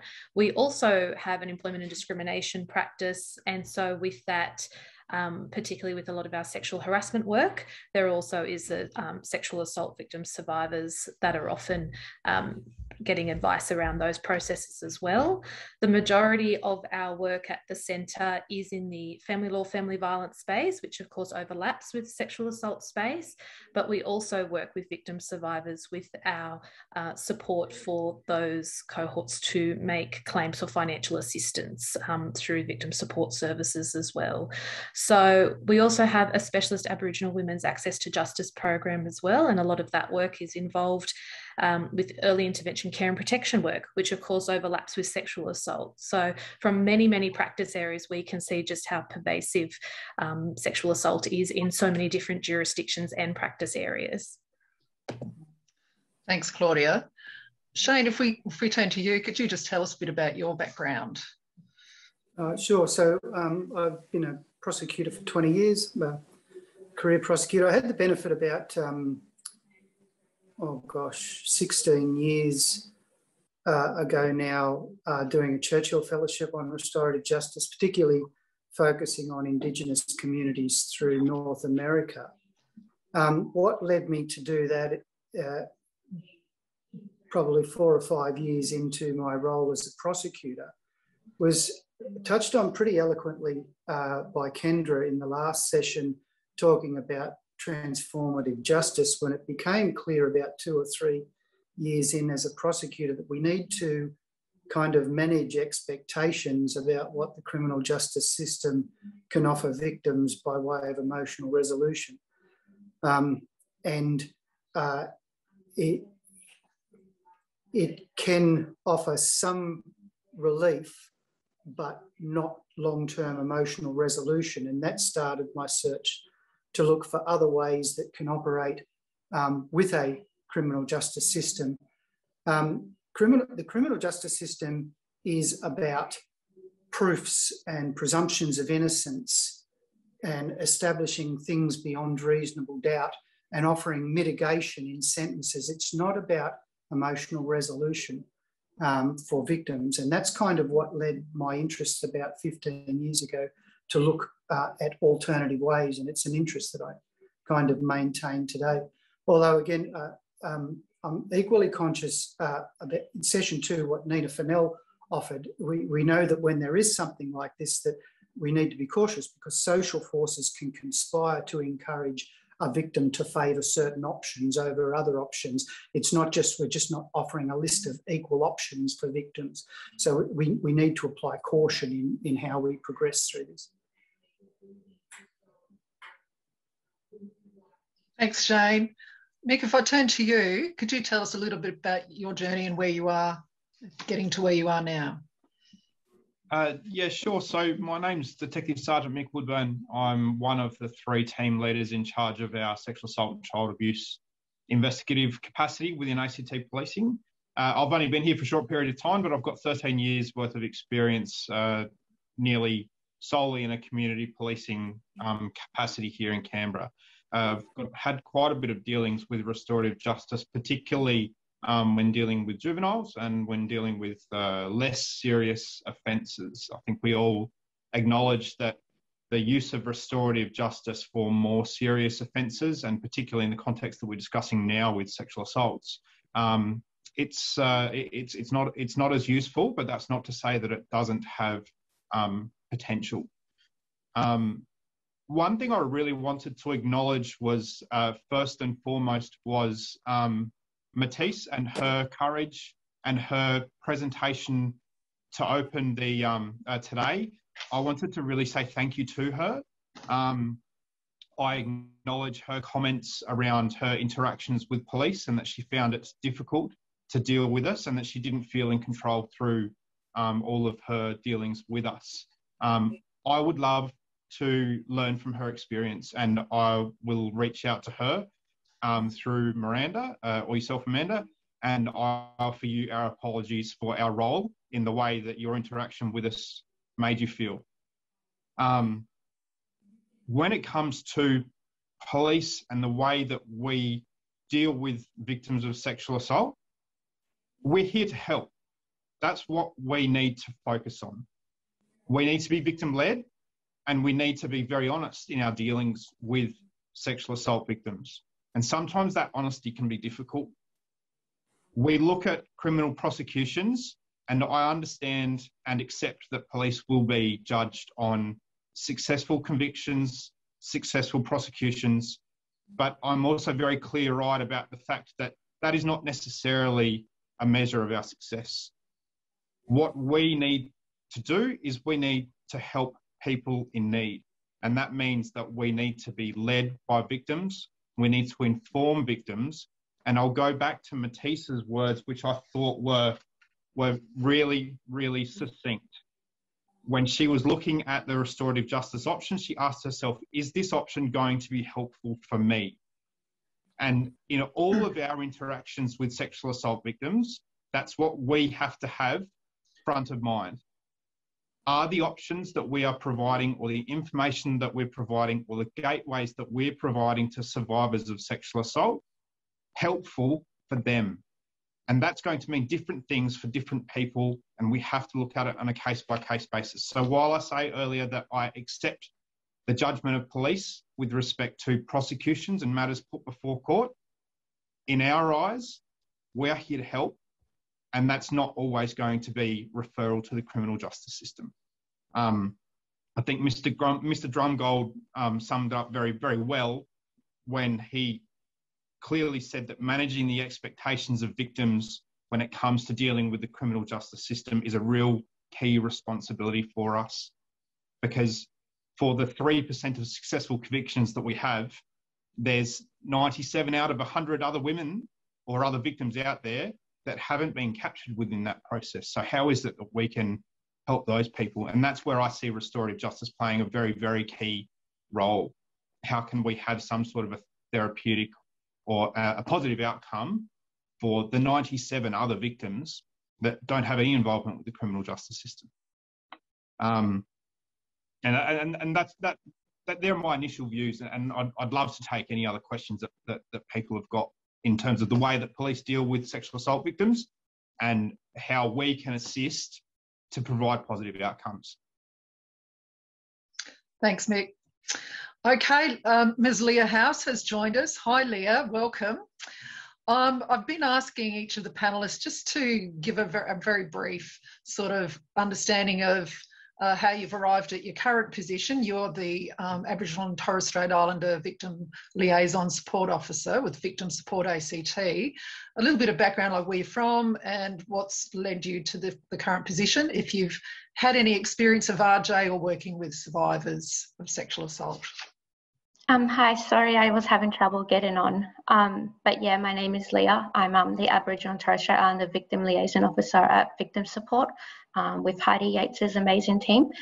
Um, I worked prior to this with Claudia McLean at the Women's Legal Centre, where I was a part of the Malleya Mara Aboriginal and Torres Strait Islander Women's Access to Justice program. Um, so it's definitely a space that I've gravitated towards also as a survivor of DV and sexual assault myself. So I do use a lot of my lived experiences to help guide me towards um, the career pathway, I guess, that I've been on for several years now.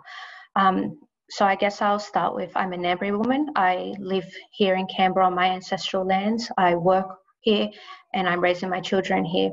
Um, but I think I wanted to like just kind of um, outline my perspective on this conversation. Um, and that is that it is a huge conversation, it's massive, um, and that I sought advice from my elders um, as to whether engage and if so, how to engage in this. Um, and I'd like to start with acknowledging that while I am present today and I respect the need for representation of First Nations voices um, on a panel dedicated to First Nations people on this conversation delivered by First Nations voices needs to be created and prioritised. Um, we know our people are targeted and criminalised from birth. Um, contact with the criminal justice system is traumatic, whether as a survivor, a victim, a perpetrator, perpetrator or accused. Um, the system aggravates already existing trauma. Um, we have the statistics that paint this clearly. Uh, it's a reflection on our systems, our services, colonization um, that have failed our people every step of the way in the creation of this um, so called Australia. We cannot move forward without being placed in the driver's seat. First Nations people cannot remain in the back seat and don't need to be thankful for a passenger seat. Um, it is not, it is now and has always been our right to steer our futures. So, with that, I believe for First Nations people, a dedicated panel um, following on from this to explore this discussion in depth is necessary. So I'm done.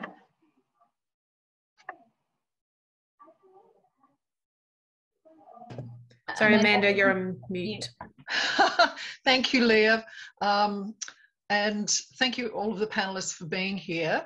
What I'd like to do now is um, look at, because I think we've got to the point where we, we know that restorative justice is a service that um, should be available. It's like, how can it be available? How can it be accessed? How can pathways be grown? Um, and in our preparations earlier this week, Shane, we were talking about some of the potential conflicts or barriers. Um, would you like to discuss what some of those conflicts might be um, for pathways to restorative justice in the criminal justice system as you see it? Sure. Um, thanks, Amanda. Um, so we need to start by looking at the objectives of restorative justice and the objectives of the criminal justice system because those two things don't align. Um, the objectives of restorative justice, as I touched on initially, really is victims' emotional resol uh, resolution. Objectives within the criminal justice system are much more structured and they're really about whether or not a prosecutor can prove something beyond reasonable doubt within a very uh, kind of limited construct with lots of rules and lots of regulations. So, you know, there's presumptions of innocence through to the proof of guilt, but beyond the proof of guilt through the sentencing process, you really kind of you've, you've got uh, a, a dichotomy between two people. One party, their role is to mitigate, to reduce the sentence. The other party's role is to aggravate.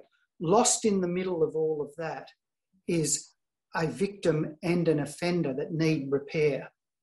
Um, so whilst we're battling out in a adversarial system, we're losing all of that. We're not focusing on all of that grey area in the middle, um, which is, as I say, emotional resolution of both the victim and the offender. Um, that's where restorative justice sits. So the question is how those two things can reconcile, how the criminal, how an adversarial criminal justice system can reconcile between human beings seeking emotional resolution for an event. Um, and uh, I'm not sure that it can.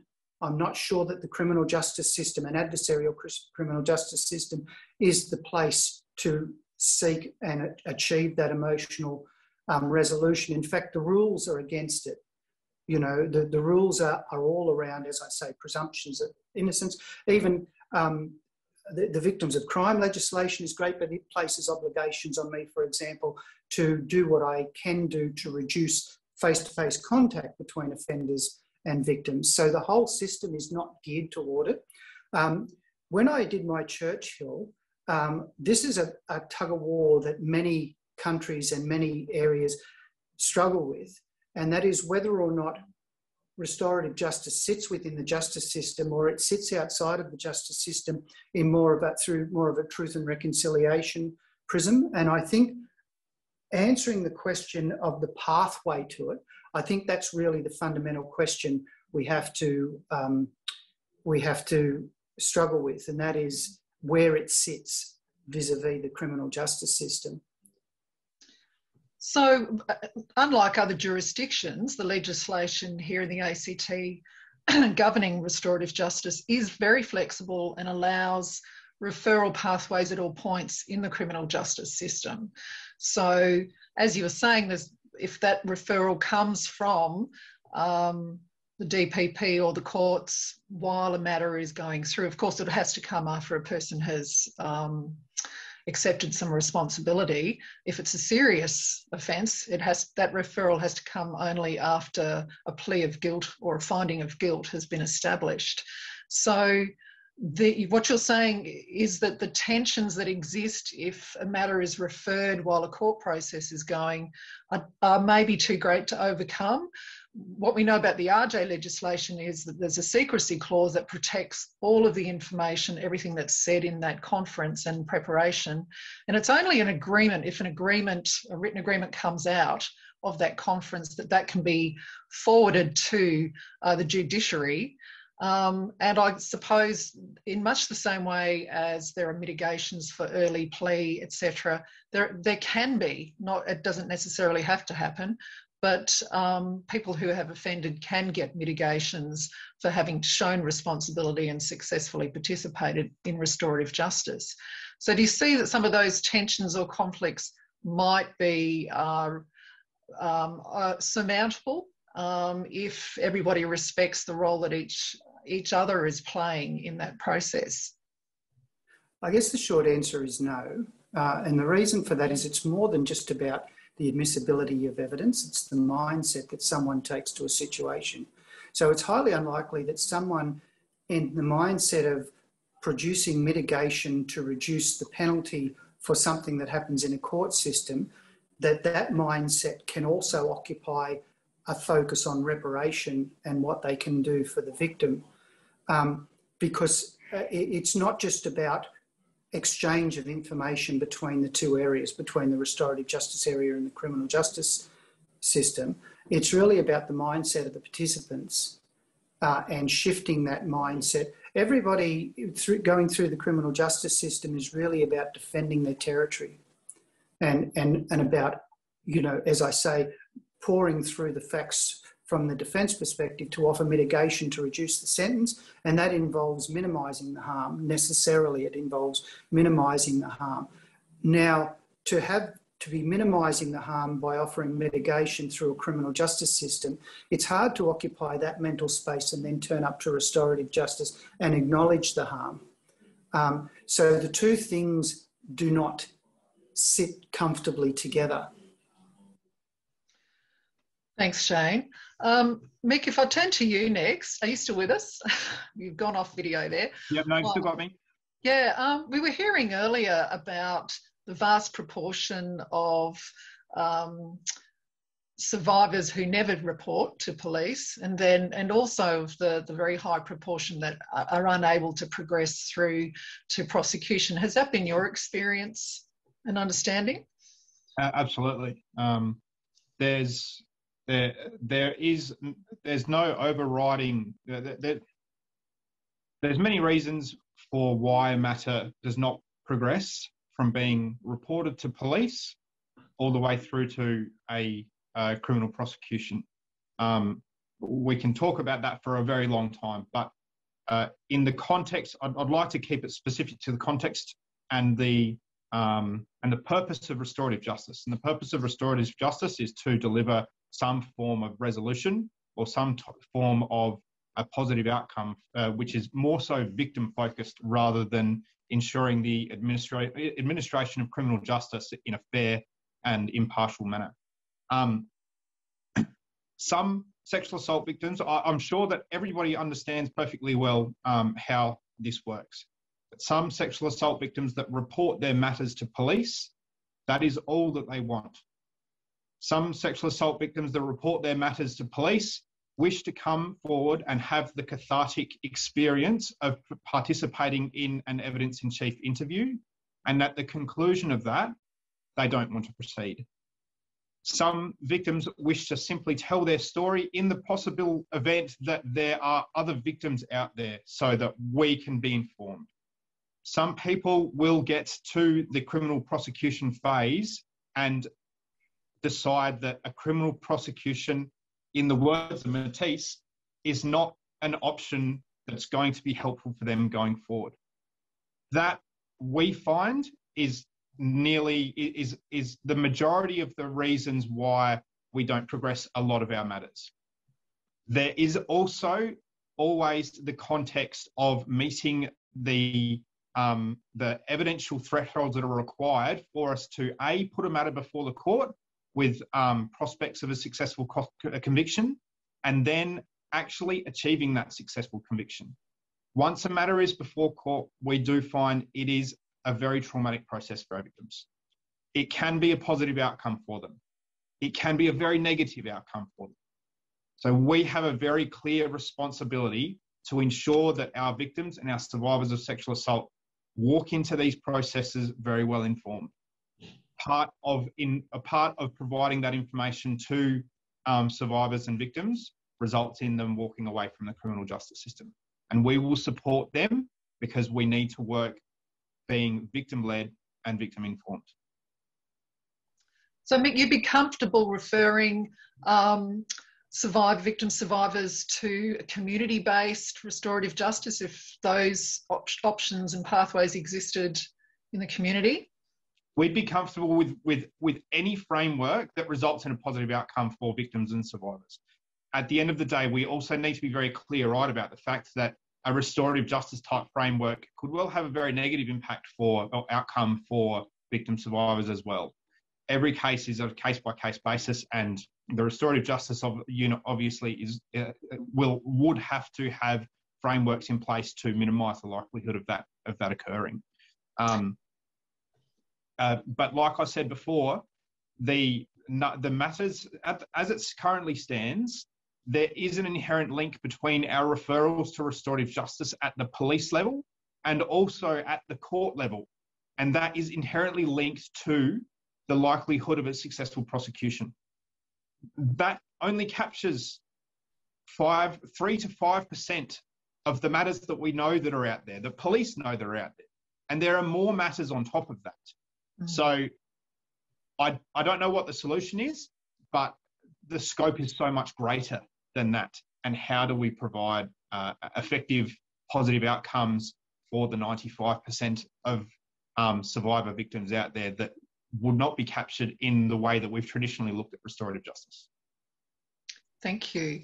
Leah, um, if we're contemplating uh, the provision of restorative justice processes in the community. Um, what sort of framework do you think, or what sort of things would be really important to be part of that for it to be considered appropriate for people that you'll be working with? Um, I think it would definitely need to be survivor led. Um, and the, the, conversation moving forward would we need to centre survivors within this discussion, I believe. Um, and it, I think for community, and not all Aboriginal and Torres Strait Islander people want to access Aboriginal and Torres Strait Islander services. I think that's something to kind of mention. Um, but I do work in the context of Aboriginal and Torres Strait Islander people that identify and want to access Aboriginal and Torres Strait Islander services. So that's like the area that I work in. So I can really only speak on those clients that I work with. Um, I believe a service it would need to be First Nations led.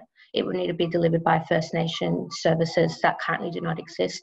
Um, yeah, I, I can't really expand too much more on that just because I think it, it needs to be First Nations led if it's a service that's going to be offered to First Nations victims, survivors, um, offenders, perpetrators, users of um, violence. It, we need to centre anything to do if we're trying to pick up those that cohort it needs to be delivered by First Nations people. Like I stated at the beginning, I do believe that it's overdue now for First Nations people to be um, in this um, driver's seat steering these conversations and the delivery of these services. Thanks, Leah. Claudia, if, if we're contemplating community-based restorative justice and, and some of the criticisms are that it will be seen as a light option or not quite as formal or serious, I know that you've been exploring a potential for lawyers to be advocates for uh, survivors in, in court processes, perhaps that was, but do you see that there's a role perhaps for um, people with legal backgrounds to be part of a support network um, for survivors in community restorative justice processes? Yeah, absolutely, Amanda. And I think that the role of lawyers is a really interesting question, particularly if we look at other areas of law outside a, a criminal uh, jurisdiction. And I think the, the two things in this space which are important is one, understanding the role of lawyers and their focus on process, not just advocacy, but also the importance of specialist legal services. And as Leah mentioned, um, we, we don't have a specialist um, Aboriginal legal service that's owned by Canberra that is particularly working exclusively in this space and that is community led, um, but also the importance of specialist services who operate in a trauma informed, um, victor survivor focused way. Um, conversations Shane and I had the other, the other day in um, our panel discussion was around yes, the DPPs for the community. An offender has their own lawyer, but a victim who is the centre of the process actually doesn't have their own advocate in that in that process. And as Shane mentioned, um, the criminal justice pathway being very, very different from a restorative justice pathway. And so I think the role of lawyers could play such an important role as it does in other um, areas of practice where lawyers aren't just a mere mouthpiece for their clients. They have um, very strict professional duties to the profession itself, to the judiciary. Um, but and what that means is a big role lawyers play is weighing up with obviously with the client the advantages and disadvantages of a certain course of action for that client. And so it is a very tailored approach. Um, and ultimately it is the client's decision. We can't act without client's instruction. So as has been echoed throughout this entire panel it has to be victim led but lawyers actually have a duty that we, we can't act without those instructions. So that is embedded in a lawyer's role. Um, but a big role that lawyers play is which i think people don't necessarily necessarily think about when they think about a lawyer in in a process system is that we are all about fair processes. And a lot of beyond let's say an advocate's role what a lawyer brings to the process is a focus on that process to be fair to be transparent to be aligned with um, legislative frameworks and to understand those frameworks. And those principles of natural justice or administrative law principles so that there's an opportunity to respond that there are appeal processes built in within a within a system which maximizes opportunities for that process to be really tested um, and for that transparency and accountability to be paramount in those processes. Um, the other thing a lawyer brings to the table is we're trained to think about risk Um, and I think, you know, lawyers, they'll probably be the most risk averse people you'll ever meet, um, which comes with its disadvantages as well. But I'm not just talking about physical risk or psychological uh, safety, but actually risk about preserving rights in other jurisdictions. So I think in a restorative justice framework, yes, we've talked a lot about a criminal law jurisdiction, but we know victim survivors are often involved in many jurisdictions. Um, women who have experienced sexual assault and family violence can have up to 10 legal problems at a time. And so, how does one course of action impact upon a victim survivor's course in, in other ways? And how can you maximize um, an outcome that the victim survivor survivor wants and that's negotiated with with the lawyer and how what's the lawyer's role in in trying to bring that outcome to fruition and really taking an outcomes based approach. So to answer your question in that space i think lawyers can definitely bring a lot to the table um, because they do bring a different perspective and that's got to be within a broader more holistic approach with other specialist services as well. So of course um, your therapeutic supports and whatnot um, but also the role of specialist services, it is absolutely crucial that any services operate from that trauma informed lens. Um, the last thing anyone wants is a process to create further trauma uh, damage um, to a client. And also from a lawyer's perspective, you know, we, we do want people to have faith in our systems and processes. Um, so I think there's a whole whole range of considerations there, but as absolutely a space for specialist legal services for victim survivors. Thanks, Claudia. Um, my next question I'll just throw out, and whoever maybe wants to um, answer it, have, have it go. If we're contemplating community based restorative justice for survivors of sexual assault, where should that be embedded? Do, do we think it should be embedded in um, survivor support service type organisations? Should it be in a neutral space that invites all those players in? Where should that where should, or, or, should it be more organic? And should there just be many many pathways and, and options to accessing um, restorative justice in more informal settings? I'll, I'll have a shot at that. I, I, I think um, embedded in that is who all those players are. And and this is a really important question. Who has a stake in sexual offences, um, and often we get we narrow the people with a stake to the victim and the offender and the immediate um, surrounds the, the family. But the reality is, it affects the community. You know, if there is a, a, a sexual assault publicised on Saturday night, the following Saturday night, many, many young, particularly young females, will change their life decisions based on that event. Um, so the, the, the question is who, who uh, has an interest in it. The entire community, the, the weight of the interest narrows down to a focus on the victim, and they definitely have the, the, the greatest interest in it. But a lot of people have an interest in it.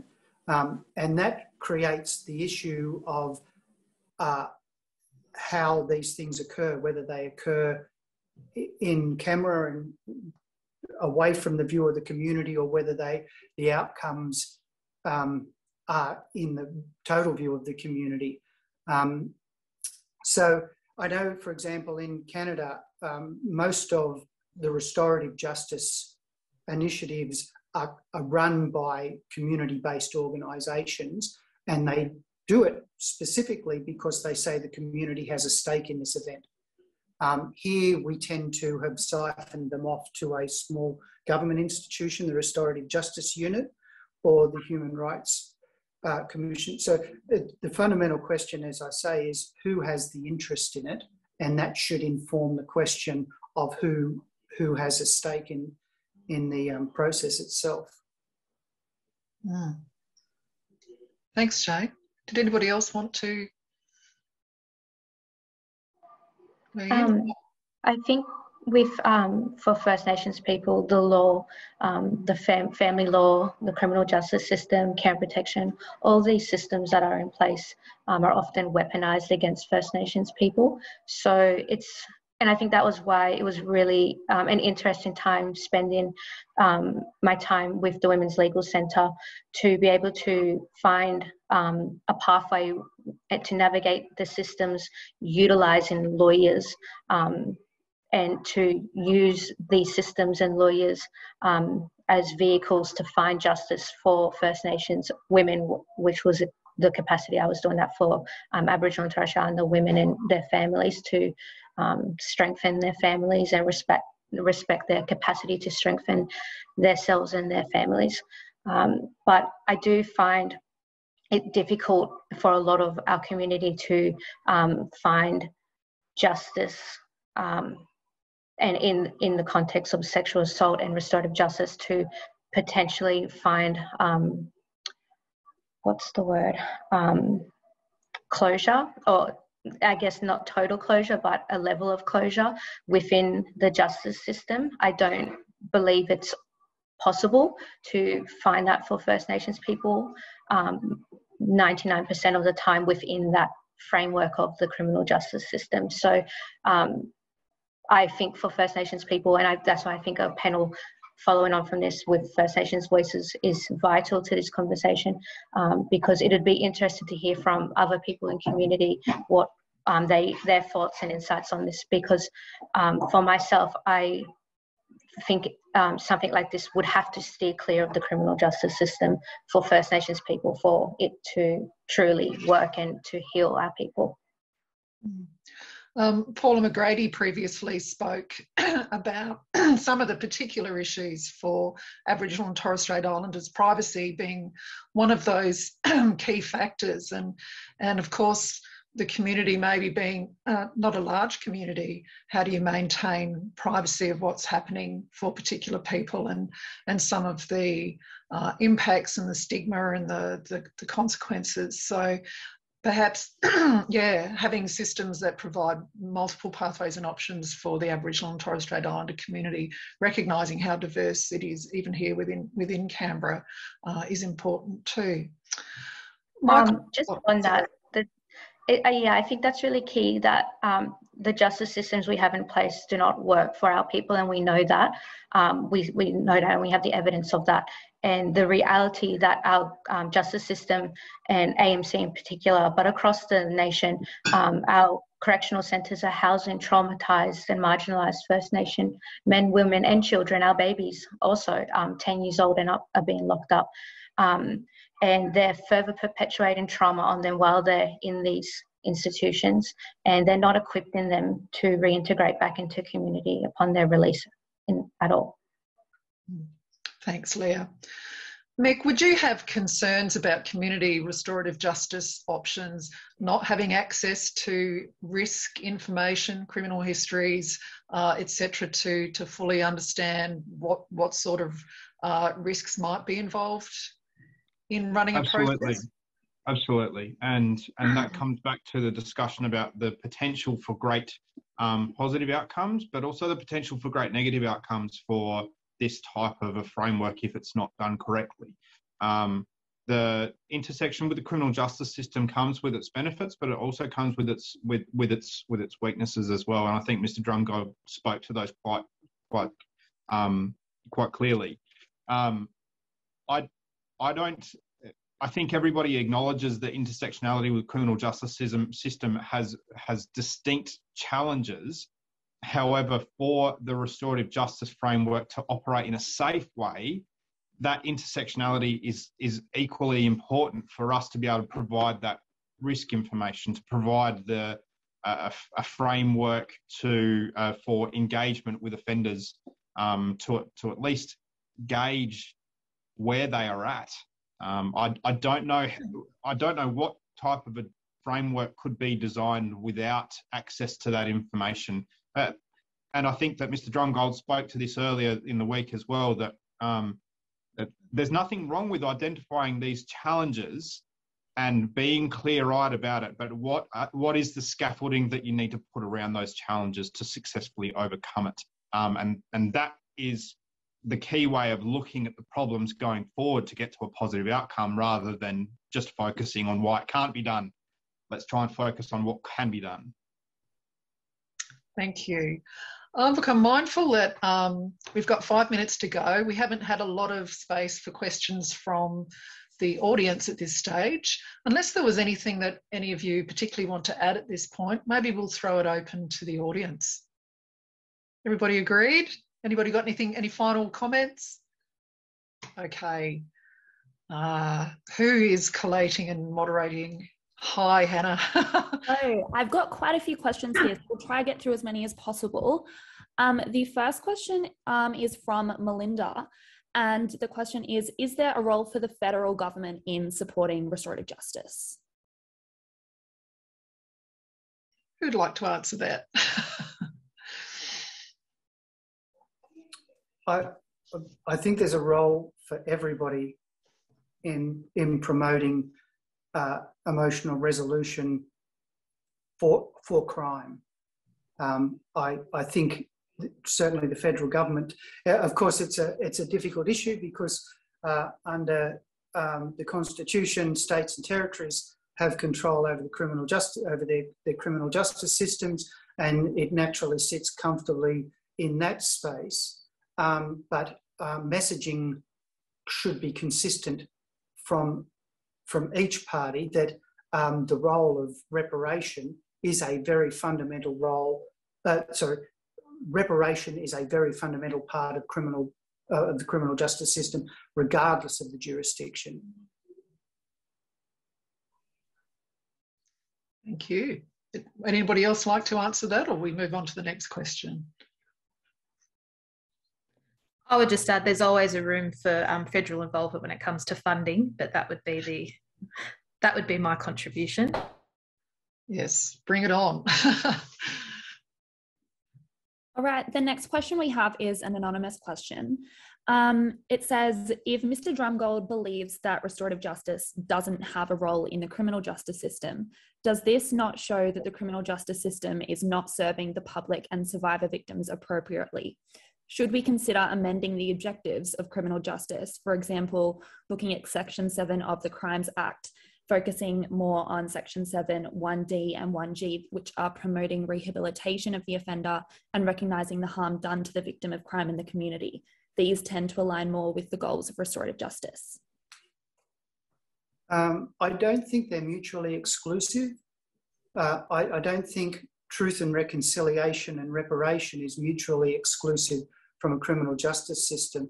What I'm saying is, I have reservations about the ability of the criminal justice system being an adversarial process to deliver emotional resolution to victims and offenders. It doesn't mean that we can't pursue those things. It, it, it's just saying, I, I'm just saying that the criminal justice system is ill equipped to achieve those things. Um, many other jurisdictions do, do have both systems sitting collateral. So they approach uh, restorative justice from a um, as, as I say, from a truth and reconciliation uh, perspective, and the criminal justice system sits opposite, uh, sits alongside it. Can I just add that the criminal justice system includes corrections and post-sentence referrals. So a lot of referrals might happen at that space after the tensions and the, uh, I guess, question mark around motivations of the person responsible are out of the way. However, um, it does, you know, the potential is there for it to happen and it can happen, but it just makes it harder, I think, for participants to be coming without pressure and, and um, with the best possibility to be completely honest and open. Um, can I speak to that as well, Amanda? Uh, I think that everybody has been very clear that any type of framework, safety would have to be one of the the key um, the key objectives of of the framework. But accessibility is just as important. And when we take, when we look at who it is that is involved in the criminal justice system once a matter hits court, it's not accessible if we're just looking at those people.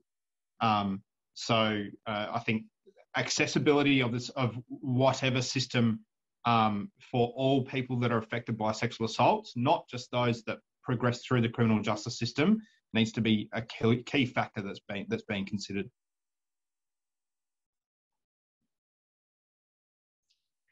Any other questions? Um, I've got two questions here that I might sort of combine into one. One is what level of screening is done on a perpetrator's suitability to participate in a restorative justice process?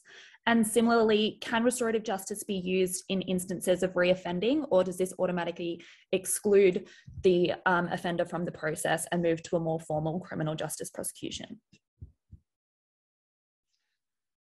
Perhaps I'll answer that first part. So the, there's an enormous amount of um, preparation, screening, risk assessment when referrals come in to the restorative justice unit. So information's gathered from criminal justice um, agencies, um, communications had with um, survivor and victim support agencies to try and figure out what's the safest way to make contact.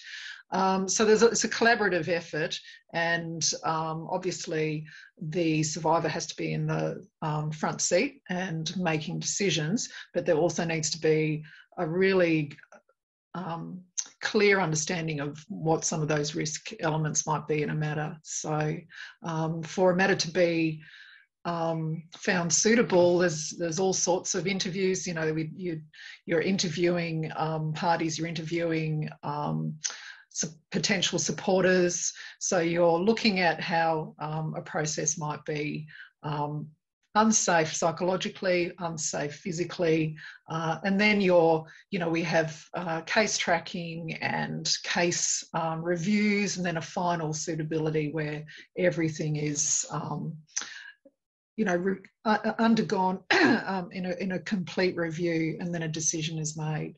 But usually that'll be one that, that is prioritising the needs and interests of the survivor. What was the second part of that question? Sorry, the second part was, um, sorry, just give me a moment. Um, how restorative justice can be considered for people that are reoffending if it is appropriate to be used in this context, or whether um, people who have a history of offending are moved towards a more prosecutorial pathway? Well, um, what we have to remember is that for each offence, there might be a separate victim who needs to have an opportunity to access restorative justice if um, somebody is offending against the same victim, uh, restorative justice offers opportunities to be acknowledging patterns of behaviour. It doesn't, unlike the criminal justice system, it doesn't have to stick to this one incident that's come or been referred. So it's really important that the bigger picture does come out. Did anyone else want to speak to any any parts of that question? I, ideally, um, repeat offenders, perpetrators, um, while they are being um, like whatever their sentence is, whether that's incarceration or um, the community um, stuff, while they, but particularly while they are in custody, uh, there should be some level of rehabilitation. There should be some level of some kind of restorative work already existing, not necessarily in a more formal restorative justice capacity, but rehabilitation, um, education, work being done. Um, I think we have a responsibility in our systems that house these um, perpetrators have a responsibility to um, do what they can while they have them for the time they have them to then release them back to community in a, a better state than when they went in. And often restorative justice works really well when, if that person is in um, on a community-based order or is in prison, they already have a rehabilitation um, plan in place. And restorative justice might be that an agreement comes out of that for them to address that and, and attend that and pay attention to changing their behaviour or changing their attitudes around that. Um, in another context, you know, it might be that an agree, RJ agreement alone carries the wishes of the survivor for things that the person responsible can do, and, and they may agree to that agreement and and follow that, and that will their their compliance, if you like, or their um, addressing that is then followed up by restorative justice conveners. Sometimes we find that if it's if it's a plan, an agreement that's been um, that the person responsible has participated in and agreed to and sees as, as useful, they're much more likely to follow through um, with that.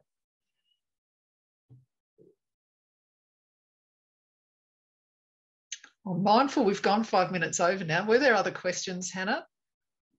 There's several other questions, but in the interest of time, perhaps we should just move on.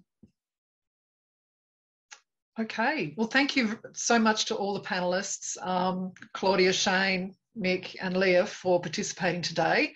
Your perspectives and views have been um, a great addition to the day. Thank you. Hey, thanks, Amanda.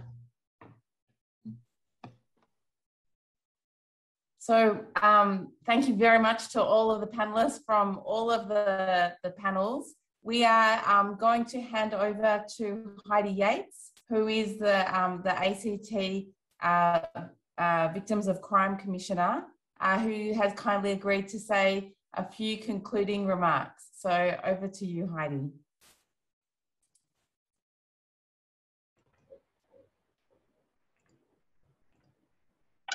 Great, thank you so much. Um, what a great few hours discussion we've had this morning. And I've listened in to that discussion from where I am on Ngunnawal and Ngambri land. And I acknowledge uh, and pay my respects to the traditional custodians of this land. In doing so, I particularly thank the Aboriginal women uh, who have contributed to, the, to, today's discussion, and locally Paula McGrady, Leah House, and from a distance, Tracy Harris and Michelle Kelly, thank you um, for the many years of advice and wisdom that you've shared with me and continue to do so about how we need to do business better. I also note um, that it's appropriate to wish you all a very happy Wear It Purple Day. And I don't know how many of you have found something purple to wear today, um, but such an important moment to pause as we work to foster supportive and empowering um, environments for our LGBTIAQ plus young people and their families. So we've covered a lot of ground today. Um, and it's such a privilege to have wise minds from around the country and indeed around the world to bring thoughts together as we contemplate how to better, better ensure that justice responses, including restorative practice, are indeed responsive to the express views of survivors in all their diversity, and as Nina said, at every point in the survivor journey. A key theme that uh, I think appeared across conversations today is a resounding agreement that we know in the ACT and indeed across Australia, we are not currently responding consistently and well to survivors in all their diversity. Um, both in terms of the services and supports that are available, but also the more formal justice options. And that, is particularly so for our First Nations people, um, noting that the justice system has since colonisation been used as a tool to oppress and control Aboriginal and Torres Strait Islander people, and perhaps at best to underprotect and over-police uh, Aboriginal and Torres Strait Islander peoples. We've also touched on the limited interventions and accountability options in terms of working with people who use sexual violence. We all appear generally to agree on the fact that anything which increases options for survivors, including access to restorative options both as part of a criminal justice response, but also outside without requiring engagement with the criminal justice system, um, is a good thing. That said, we've also been frank about the kinds of pressures that can be applied to victim survivors in different contexts when they're exploring options um, recognising uh, those pressures might be particularly distinct when, for example, an institution where the abuse has occurred uh, might indeed prefer and apply significant pressure to someone to choose um, a non-public option. We've also talked about some of the different models and ways that restorative practice could be used, as I've said, both within and external to the criminal justice process. Um, and I can't help just uh, popping in here the ACT's new legislative Charter of Rights for Victims and the fact that it does require justice agencies to inform victim survivors at multiple points in the systems about their rights and options regarding accessing a restorative process.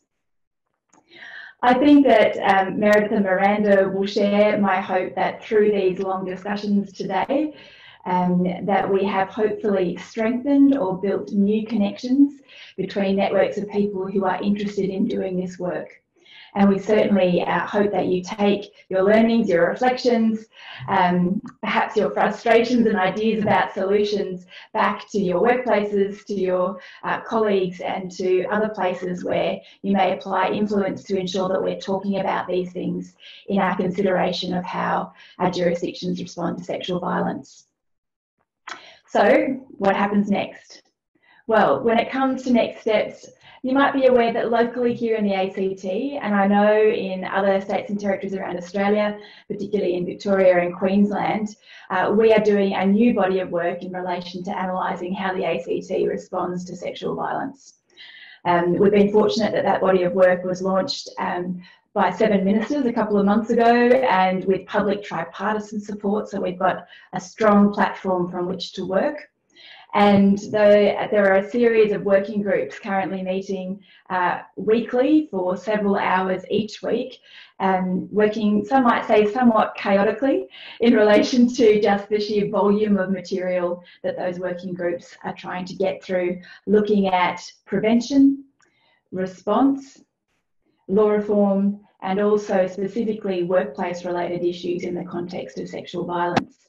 So um, this work, the discussions that we've had today, and with the help of many of you who are on those working groups and through Meredith and Miranda and their colleagues at the ANU, will feed directly into that platform for discussion and action noting that um, the working groups will be producing clear recommendations back to the ACT government across all of those seven ministerial portfolios uh, regarding where we need to draw focus in the coming year regarding improving um, the ACT's response, uh, ACT's ability to prevent and respond to sexual violence. Meredith and Miranda have also invited me to remind you that they are ready and willing to engage with you beyond today on these issues and to warmly encourage you to reach out to them with your thoughts, your research, um, your perhaps shared frustrations and your ideas about where we might go next around finding solutions to how we might make restorative practice more available, appropriate, accessible and culturally responsive uh, in the ACT and beyond. Uh, they also asked me to advise you that they'll be circulating a link to a recording of the symposium, as well as a Dropbox folder with some additional relevant resources that may be of assistance. So I hope that you will join me in thanking Meredith and Miranda for all of their hard yards in so rapidly pulling this symposium together and shifting it online, of course, once the ACT lockdown hit. Thank you also to Richard and Amanda for your facilitating of panels today. And to all those speakers um, who have joined us, to all those who have asked questions and made comments and engaged, thank you for the generous and creative mindset that you have brought to these discussions. Thank you to the panellists for your time, particularly those who are based in COVID struck environments where we know frontline services are incredibly busy at this time. Finally, I know that many of us hope and expect that today's conversation will be a platform for action, noting that our research and our discussions about these matters are of best assistance to survivors when they crystallise into better practice services and supports. Let's make sure we turn these discussions into strong actions. And thank you for your time, your energy. I hope you have a great rest of your Wear It Purple Day. Back to you, organising team.